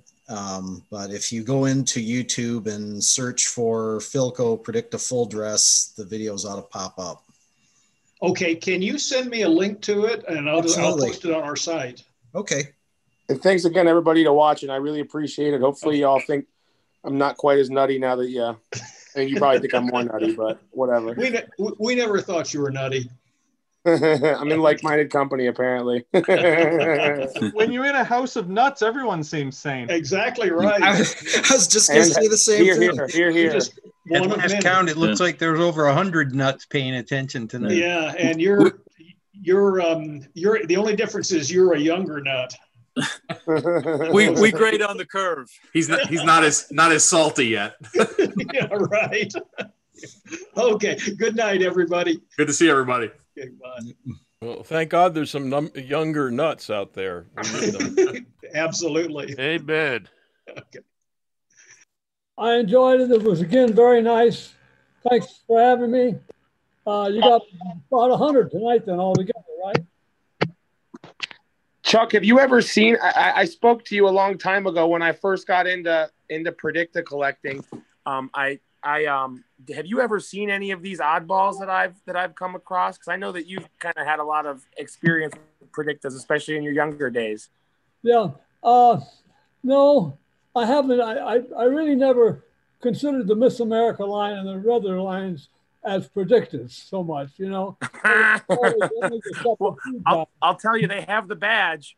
They have the badge. So, but anyhow, uh, uh, everything everybody says about him is true. Uh, there is no solution. I want to also change all the tube sockets because those are also bad too. So Yeah. no matter what you do, there's always something more to do on a Predicta. You're not. You are not kidding, Dan. I agree with Chuck 100%. I mean, he was there when we did the the one in the museum, the tandem, and we had a synchronization issue that uh, you know we had a bunch of us kind of crowded around it with voltmeters and so forth, and Chuck spotted the lack of sync signal. There was a broken trace on the board that I missed when I had the board off. So luckily, we were able to solder a jumper wire on along the top of the board neatly to get the signal from the couplate to the tube, and that cleared it up. That happens a lot on that. Uh, Yeah. Well, Blake sets had a few. I've jumped it on the top of the board myself several times. You do what you got to do. Yep. I'm going to check out and grab a bite to eat myself. Everyone have a good week and a good month. Take care, Hey, John, check your text messages. Catch you next time. Thanks, Steve, for having this thing again. Um, They're not as good as the live meetings, but they're certainly better than nothing. Here, That's here. for sure. Hey, Blake, are you still on there? Yes, I am. Uh, you mentioned Palm Springs, uh, and I, that's a wonderful. I have a business that's down in Palm Desert, which is just a further, uh, maybe ten miles down the freeway. Yeah. Yeah. Don't discount that because the the property values are a little less expensive down in Palm Desert than they are in Palm Springs, and You're it's got a, Go and it's ahead, got go a lot of wide open space. Oh, you're you're definitely right. I um I was just in Palm Springs for a week in uh, December. I went down there with my little camper and my my golden retriever pup, and um I crawled around down there in the thrift stores and what have you. And um you're right. I uh if I I, I truthfully I, I I I could definitely as long as I get myself within the vicinity, you're I, you're definitely that's not lost on me. I appreciate you telling me that. Right. Yeah. Because uh, it's a it's a it's a wonderful area, uh, and uh, we service Palm Springs as well from Palm Desert, and uh, uh, there's just a lot of less costly places in and around there that uh, are a lot better to operate from. I very much appreciate that. Thank you so much for the information. Hey, and don't forget about the Coachella Valley Festival down there when they finally get that back going again. I'll tell That's you, a I hu- I to that's a huge uh, uh, you know venue for uh, performance. Uh, a lot of major talent comes in for that. I, I know that a, lot of people my age talk about that. That's a very that's like almost like a social status thing. I um I Right. probably I would probably never go unless I I mean the, the money is just it's the- they're the tickets are insane now because I almost went like three or four years ago with a friend and it was insane then and they've gone up. I um I would definitely imagine though that you would it would be great to be a business in that time when all those people are flocking to Coachella. Right, and they do. They they come in the droves. I'm telling you, it's incredible. right? I'm sure, especially from California and all that too, and all the surrounding Arizona, New Mexico, all that. Oh, I'm sure. Right. Anyway, just wanted to offer that, and good luck to you. And by the way, you're right. The medical uh, industry is very portable. I've got a colleague that he and his wife are both in the medical area, and they uh, got into their uh, RV and just started traveling around the country.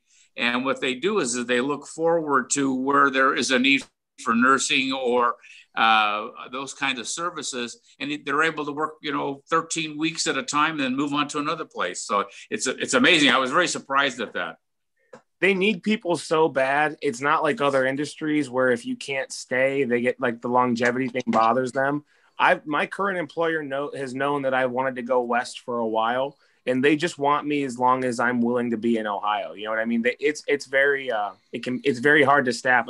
And what's really wild is is for a lot not not to get crazy, but for a lot of the, the economic downturn, there it seems to be there's a lot of jobs in certain fields that are wide open too. Now, granted, albeit with some special with some specialty. Don't get me wrong, you got to have some training, but I, it's, it's wild. all of us. I, I I own an alarm company, uh, residential and commercial alarm business, and all of a sudden, this first month of uh, this quarter has just gone crazy with people calling in wanting new alarm systems, and I'm wondering where are they getting all the money.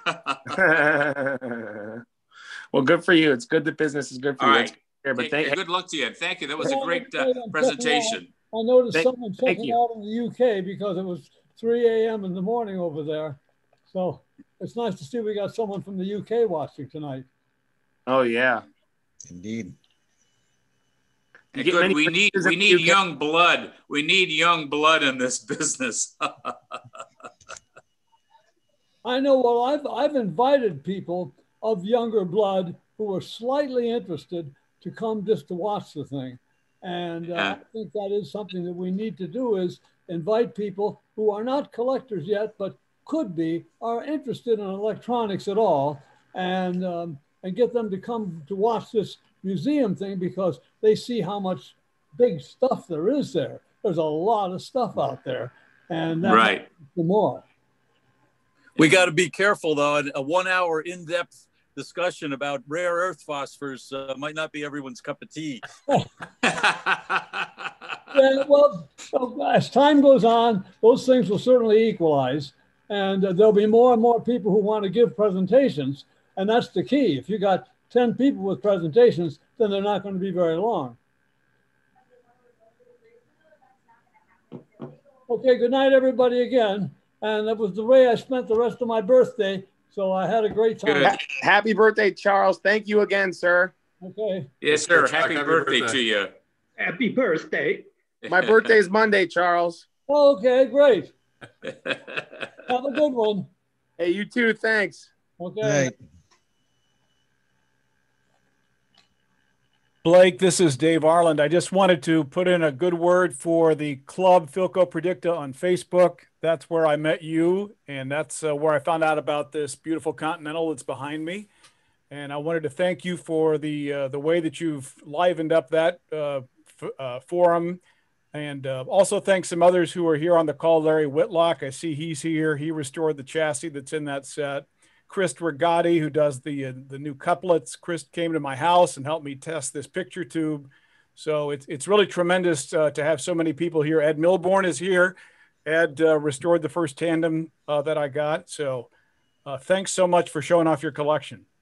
Hey, thank you, Dave. I appreciate that. I'll I'll tell you um that that that the community has really developed to something special in multi, multiple facets. I um I've met a lot of lifelong friends.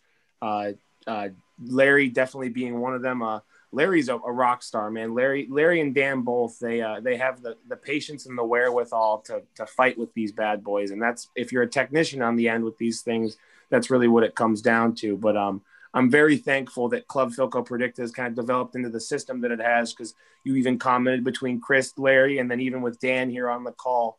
Um, I, we have a very unique culture in that club where we're all just trying to help each other get as many of these things going as we can. Almost just aiding and abetting the sickness, you know, no, no big deal, but we, we all love it. So I uh, thank you very much for saying that, Dave. That's awesome to hear. And uh, that, that club is near and dear to my heart. a story that I think everybody on this call will appreciate because we've all lived it. I have one of the full dress uh, walnut consoles like you do, and it was restored by Dave May, who has since passed, and he was part of our community. So I hauled that thing. Uh, well, I got it uh, for I think twenty bucks in New Jersey at some waste hauling place. It cost me several hundred dollars to get it to Indiana. I had to take it to Ohio to get it repaired it uh, was at the early TV museum a couple of times in various conventions, and uh, I spent a lot for that set. It's kind of sentimental, but it was great to see yours, the two that you have uh, tonight.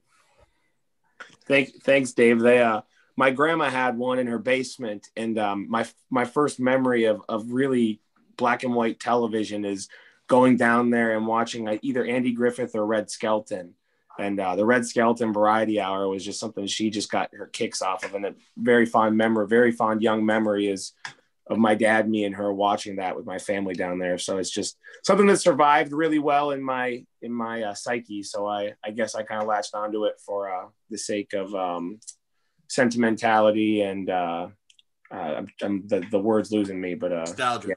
Yeah. Thank you, thank you, Al. Nostalgia. it's a big part of this yeah the nostalgia yep. factor did that's really what and again i didn't i didn't even buy a i couldn't find the full dress i was looking everywhere i was looking everywhere. And I, i'm like okay well this is what i saw. I, I truthfully didn't know that predicta was the ex, exposed crt equivalent little devil that everybody knows and loves it in the collecting community. For me it was always the full dress. So when i saw it had different form factors. I'm like holy crap this is neat. I'll get a smaller one. And then i got that one and then that rabbit hole into the research. And then then I couldn't find a full dress for anywhere. And then truthfully, the first one I found was actually I found a blonde one that didn't have the swivel. The the CRT was necked and the plastic CRT cover was gone. So it was just the body um, on the sidelines at ETF. Um, and I got that for I think $100 from Bob Dobush. Um, and um, I figured that if I never found another one, I'd eventually piece together parts from the swivel and pictures and what have you. But fortunately, after that, again, I got I got really lucky with Jerry Traub uh, feeling, I guess, sorry for me for my grandma's story. So he sold me his for what he got into it. And then um, about three months after that mahogany one I found in Maine, um, it was so funny. I, uh, a buddy of mine had sent it to me and uh, he said, look what just sold. And I was like, crap, because he knew I'd been looking for one. So I messaged the seller because I just, I figured I had to try. And I said, hey, is there any way that you or the person that bought this from you would sell this thing to me for twice what they paid for it? Because they had it for like 150 bucks. I said, I'd give them 300. And so they said, well, we're not, I'm, I'm thankful. The seller was honorable. He said, we're not going to, we're not going to shortchange anyone, but we'll contact the person that bought it from us because we did sell it. And if they'll sell it to you, you can come and get it. So fortunately, my silver tongue, after a few days of negotiating with the owner, I was able to get it for twice what he paid. And then two days later, I was in my uncle's Ford Transit Connect driving to the upper parts of Maine to go pick that bad boy up and bring it home. So uh, it's it's funny how these things follow you. I uh, yeah, I'm all it's I do more traveling for TVs than anything else, and I truthfully I love it, but it's funny. Hmm. That's the secret, guys, to getting a real comprehensive, good collection. Travel anywhere. Be willing to travel anywhere on the drop of a dime. Making me feel guilty about my Predicta sitting in my basement unrestored. Al, I know you have several. You bought one from me. You need to get. It. Had them for years. I just can't. The rabbit hole seems too big for those sets. Once Al, I go I, into them. If I could tackle the corner set myself, I listen. I, That's the first one I'm going to do. The corner set that I got from you. Yeah, I, I yeah. although I'll tell you, I think honestly, you might be better off with with the barber pole or the tandem. They're all sitting there waiting. Mm-hmm. I have too many customer sets right now. That's the problem. I have like four customer sets I'm currently working on. Did you get that one done that you got that CRT from me for? And Blake. Uh, no, not yet. That set's. I, am not sure what's up with that set. I got to figure it out. That set's got a lot of problems. Oh lordy. Yeah, that Blake. Did, I, did, did I did I tell you Blake about uh, about mine? I think I hold the record. I I actually spent a lot of money getting getting one uh, completely restored many years ago, uh, right down to getting the brass gold plated and just complete soup to nuts and it came back and it ran for a little over 30 seconds. and then it Dave, died. You did tell me that, and I'm telling you, you need to you need to maybe bring it to the a convention and have Dan Jones just even poke at it. I, am sure that if it did something like that, it might be something that is relatively easy to trace. The the the only thing that wasn't changed wasn't changed out and it was the couplates. So so I've bought some from Chris uh, in the meantime, and uh, I just got to get one of those round tuits and put them in. Usually the ones in the vertical section are beat up. Yeah, that's what happened. It lost vertical, so I'm pretty sure that's the Predicta problem. yeah, yeah, that's um that, that on barber pole that I that I was in the showcase. I had just days ago got from Dan. Dan had it working, showed it to me and uh, I get it up here, and of course I get it locked into the TV, and it develops another vertical roll. I'm just like, oh, and that Dan's always sent me phenomenal stuff, so I in no way fault him. I know it's just a, a Predicta symptom. I'm sure. Yeah, and that one was not a set that I had fully restored. It was someone else that attempted to restore it and then gave up. You're right. Yeah, Dan Dan Dan did that set.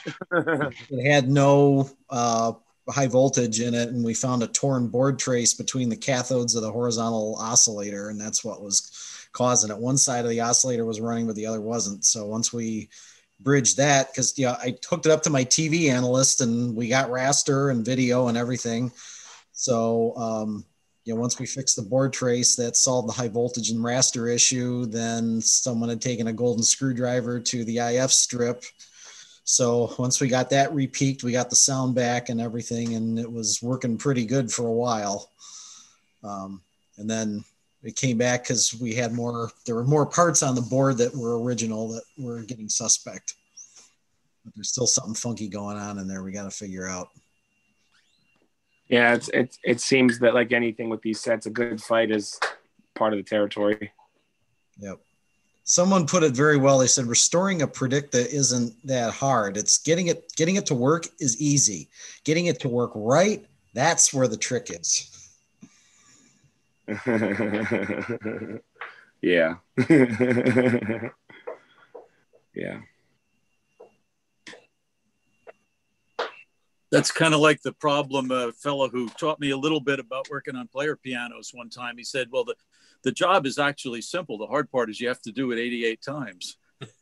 so, so everything's got its quirks.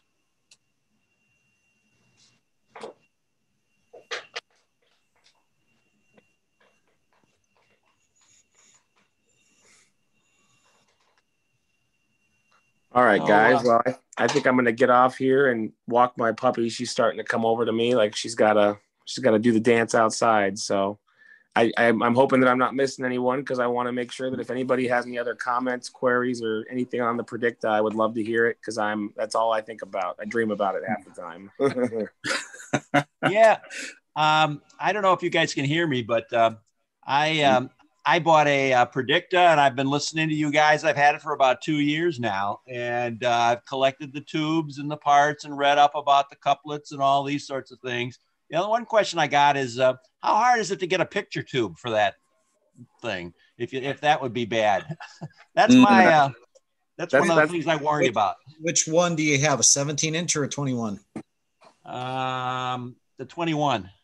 Okay, the 21s were the less reliable of the two. Um, have you have you looked inside the set and confirmed it does have the 21 EAP4, the original Philco, or did you maybe get lucky and someone put a 21 FDP4 in it? Yeah, the FDP was what it was. There's a stamp on it that they changed the picture tube over, and uh, I've measured continuity through the filament, so I know that part's good.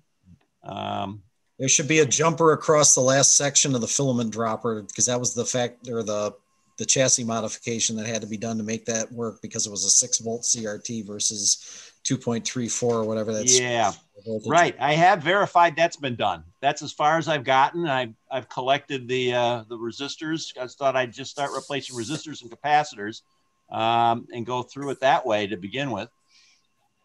I um, go ahead, Dan. um, you know, I used to, you know, from past experience, if I'd say if you had a 21 FDP4, it was pretty much a slam dunk. It was probably going to be a good tube. However, two sets in a row that I have done, in fact, one of them was one of Blake's sets. It it was a 21 FDP4, and they were both GE CRTs. So I don't know if GE had something weird going on or what.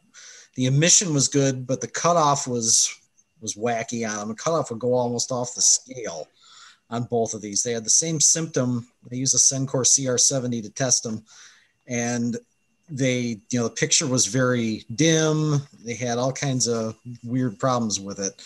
Um, but you know, on the other side of the coin, while they were famous for being unreliable, I've come across at least three original uh, Philco OE tubes that still worked fine. They were bright, they were sharp. Um, you know, the sharpest. as the TVs of the day. Larry Whitlock also has uh, uh, told uh, Larry. Larry's done a lot with Predicta over the years, even more so than most in the community. He's been doing And, it uh, longer than I've been alive, probably. and uh, he's made comment that for the amount of C- 21 EAP4s he's found good and or been able to rejuvenate with minimal effort from his Beltron, he's really under the assumption that the CRT wasn't necessarily what did Philco in in the Predicta end for reliability. It really was like just the heat retention and primitive parts in relation to what they were trying to accomplish. Okay. But um, at, at any rate, I uh, I would say that as far as your C- CRT is concerned, the odds are that if it's an FDP4, you probably got a good one. Um, if you don't, they can be tricky to find. Um, your your better bet if you're looking for one is to almost buy a part set and roll the dice. Um, just because I, I've seen Philco Predicta CRTs that are known good to go for uh, south of four hundred dollars a piece. But Okay. you might get lucky because a couple years ago I bought a couple of compatible CRTs from the museum. They had some.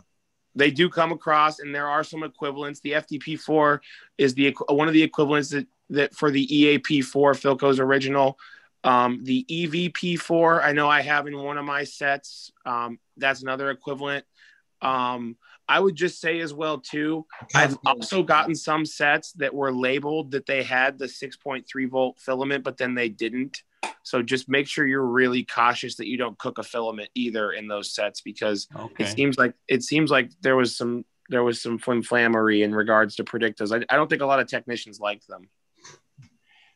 Yeah. Uh, well, I'll have to do that. I um, I've got the thing here, and I keep admiring it. It looks a beautiful looking piece of art. And um I've restored a number of Philco tube radios. That's what got me into this.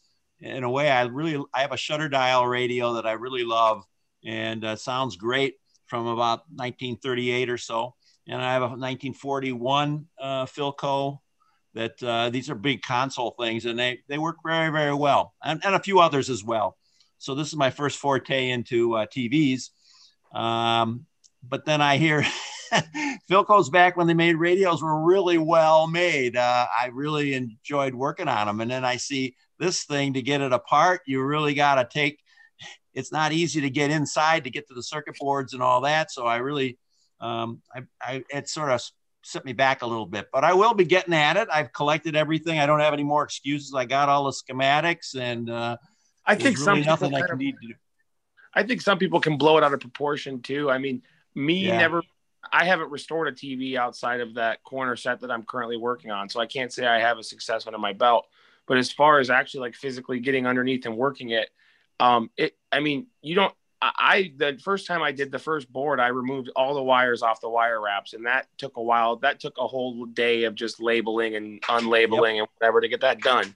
But realistically, with a lot of these boards, and I'm sure Dan can attest, you can lift this the ground sink points that hold the board on this on the chassis and actually kind of do the work with most of the wire lugs on the board. You you usually have to remove two or three in some circumstances, but most of the accessibility is there and it saves you a lot of time because the lion's share of time into that set of the headaches is going to be the wire wrapping of the of the posts on the board is primitive Yep. wire Okay. Yeah, the, the sweep board you could flip up without having to disconnect any wires, so that was nice. Yeah.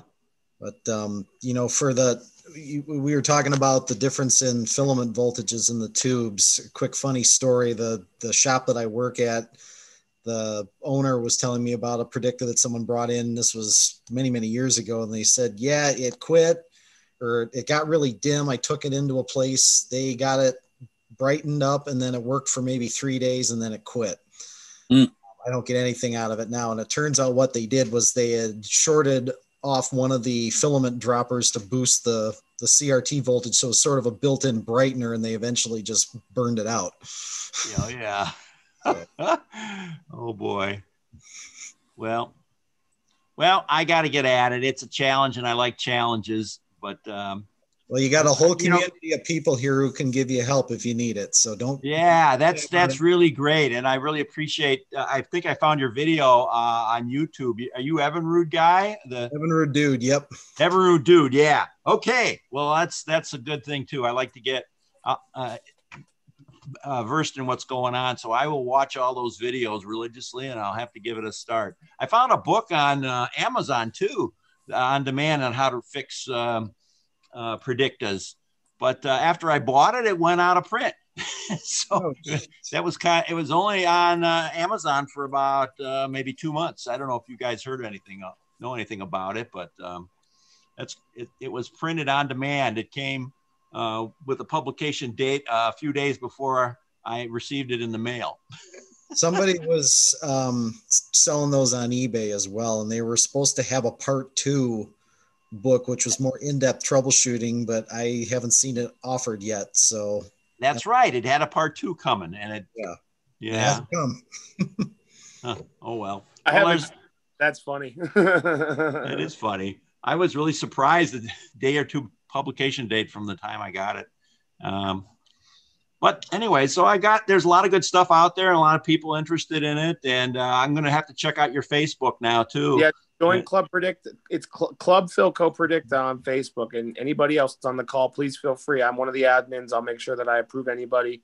Um, we we we have a nice community over there. We we uh, we help each other whenever we find any quirks or anything like that. Dan, especially, he's really really really good about reporting any updates or quirks that he finds on these TVs to help kind of group source any errors or troubleshooting because I'll tell you it, it- what's really wild and part of the reason why I had that that that those brochures and that literature framed none of that stuff survived from Philco like none of it like they did not take any care in preserving any of it at all they just they must have figured that it they it would have somebody else would have or something I'm not really sure but I mean Yeah. to find th- that dealer announcement brochure is the only thing I've ever come across like it. And I bought it from a private collector in Los Angeles for an arm and a leg. I don't even want to say out loud how much I paid for it. Wow. Well, Philco predict- probably just didn't care. I mean, I've worked for companies and they told me to put stuff in the dumpster and I put it in the trunk of my car, you know? Yeah, that's true. They just don't care. so wild. You would think for posterity they'd want to uh, whatever. Wild. You know, you're, there's a lot of stuff like that from Apollo era, from uh, that NASA engineers have kept and hung on to, and it's just starting to come out. It's really interesting to see what they've all have in their uh, back in their garages and stuff. It's uh, I, I understand that that I've seen that before. My my Predicta I got at a uh, local uh, uh, antique mall, hundred bucks for that thing, and I and I did get some advertising with it too. Which So- uh, which model is it, Dave? It's the um, uh, the holiday. Nice. Yeah, with Oh, the, the- is that it behind your head there? yeah. Oh, I see. I can see it. Yeah, there it is. Yeah. The chassis in that one's going to be different from the one that I did in the video, but it still gives you a rough idea what you're in for. You guys can see it. What do you know? Okay. That's how far I gotten. well, I'll tell you, not, not The requisite question: Do you have the back for it? Oh yeah, I got it all. Oh, I got it all. you have the back. In a, in a prior life, I would have lost all that stuff, but I don't lose that stuff anymore so much. I'll tell you too. I um, uh, uh, I don't, I don't know where you're located, but there are some guys that'll take on restoration work as well for these sets. If you ever decide you get disinterested or get hung up or anything like that. Um, I, I I mentioned one in particular, uh, Larry Whitlock. Uh, I mentioned him just because he actively advertises his uh, restoration work. Um, some of these other guys will do restoration work, but you kind of gotta go- they they have day jobs. You know what I mean? Which God love them, they're they're still keeping the hobby alive and well. So you can be thankful. But with Larry, Larry's retired and a little bit older, so he can kind of his his hobby and his devotion right now is this stuff. So that's a, a blessing for the community at large as well too, because a lot of the time um, with parts and with resources um, that you couldn't normally find, there's a lot of parts like coils and things like that, or even some flybacks and stuff that uh, you might be able to get from Larry um, that you wouldn't be able to find on eBay or anything. And Larry is an Larry is an active member of uh, Club Philco Predictas, so you can also, if if if anybody joins on there, they feel free to eh, put any requests on the front page there. And I know Larry's good about replying if he has any availability for parts and or services. And sometimes, even if you get through working on it and you still have problems, you know, we can help you out. Tim Poliniak had one, he had a holiday and he worked on it, couldn't get it to function right. And he got mad at it and sold it and said, okay, I'm never going to deal with this one again. Then the guy he sold it to a few years later offered to sell it back to him. And he thought, well, I've serviced a lot of TV since then. I've got more experience under my belt. I'm going to, I'm going to get revenge and I'm going to fix this darn thing. So he got it. And then two weeks later, I got an email from him. Hey, uh, would you mind getting this going for me? and it turns out it, you know, he did everything right on it, but he made a little mistake. One of the uh, filter caps, I don't know, he might have gotten a phone call or something. He got interrupted in it. He soldered it in, but the the positive lead, he didn't snip the excess length off, and it was just barely touching the frame of the audio output transformer. So that that B plus supply was shorted out, and that's why the resistor would always burn up. Because he says, "Yeah, I tried it and smoke came out. What the heck?" So once you snip that wire off, replace the resistor, it should work beautifully. So you know, it it just sometimes it's nice to just have another set of eyes looking at it because yeah, you know it's like proofreading a paper. You read it over and over and over again. You'll gloss over your mistakes. Someone else looks at it and they pick out five or six things. I understand that. Yeah, Patience and take your time. That's the big stuff. that's the big thing. Yeah, That's the big thing. Take your time. I appreciate the encouragement.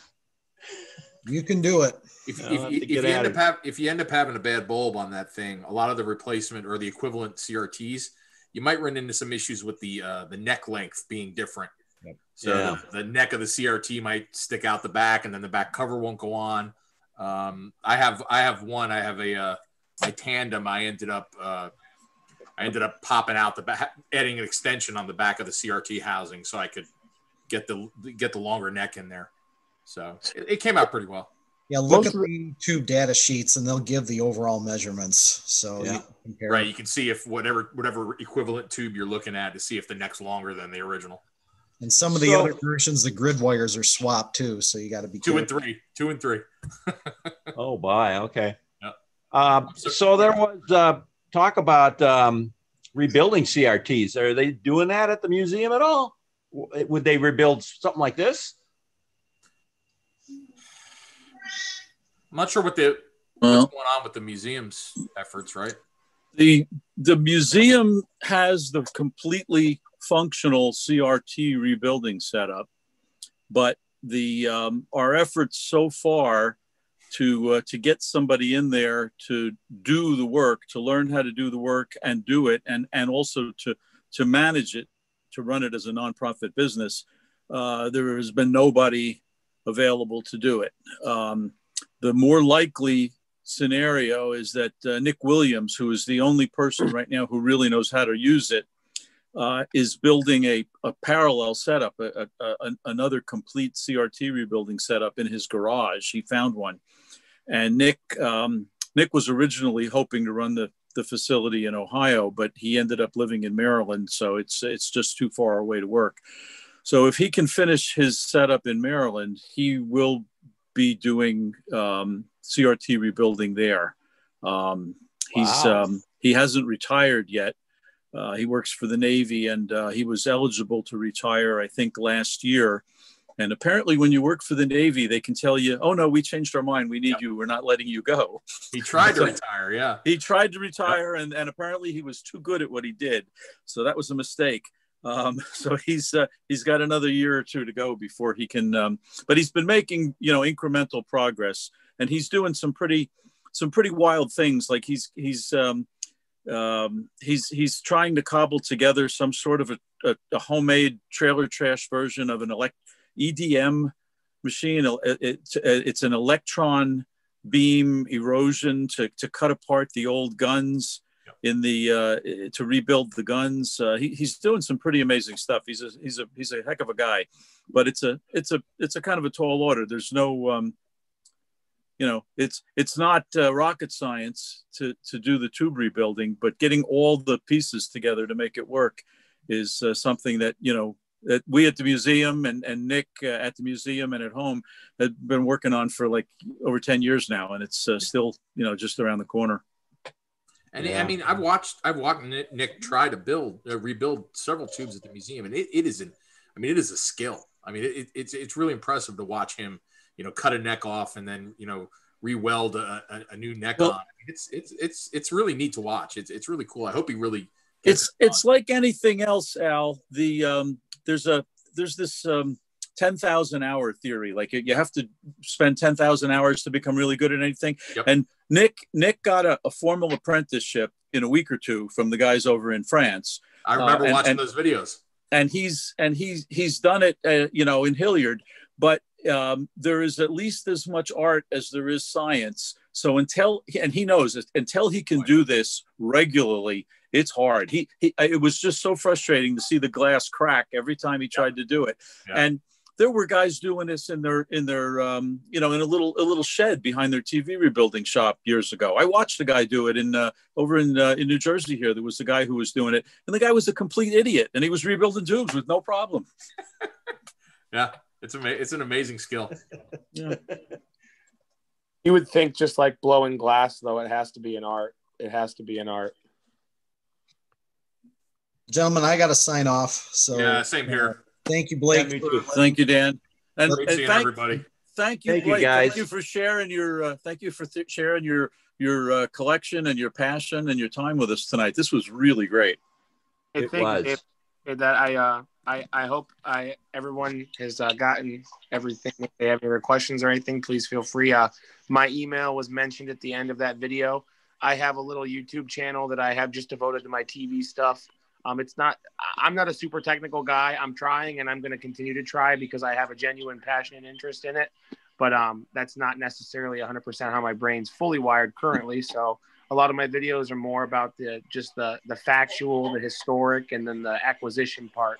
Um, Yep. But I, I I feel free if anyone has any questions, feel free to email me and check that out. Um, I really appreciate it. I've already gotten some private messages encouraging me about the uh, my little uh, museum and foundation at Palm Springs. So very thankful for all of that. I really appreciate everyone. Yeah, I, I like your passion. I really enjoy seeing seeing people like you uh, and showing off their stuff. I have a passion for my '59 Rambler, so uh, I appreciate it a lot, and I, I appreciate all your guys' encouragement. So hope to see more of you guys. All right. Hey, Dan, before you before you sign off, I have a quick question for you. Sure. Um, what's with that jumper? I'm not familiar with that. Is that in is that in a, a series string or how, how does that work? Yeah, it's a series string set. So there's a three section filament dropper. Um, I think it's like 17 ohm, 15 ohm, and 8 ohm. It's a big sand resistor that's on the bottom. Yeah, it's probably good four inches long. And um, the last section is the 8 ohm section, and they would have you put a jumper across that to negate it. So that way it brought the overall filament string voltage up to Yeah. make up the three volt difference in the CRT. Now, But doesn't doesn't that filament string voltage get divided among all the, the filaments in the string? I don't see how that impacts the CRT only. That's the part I didn't get.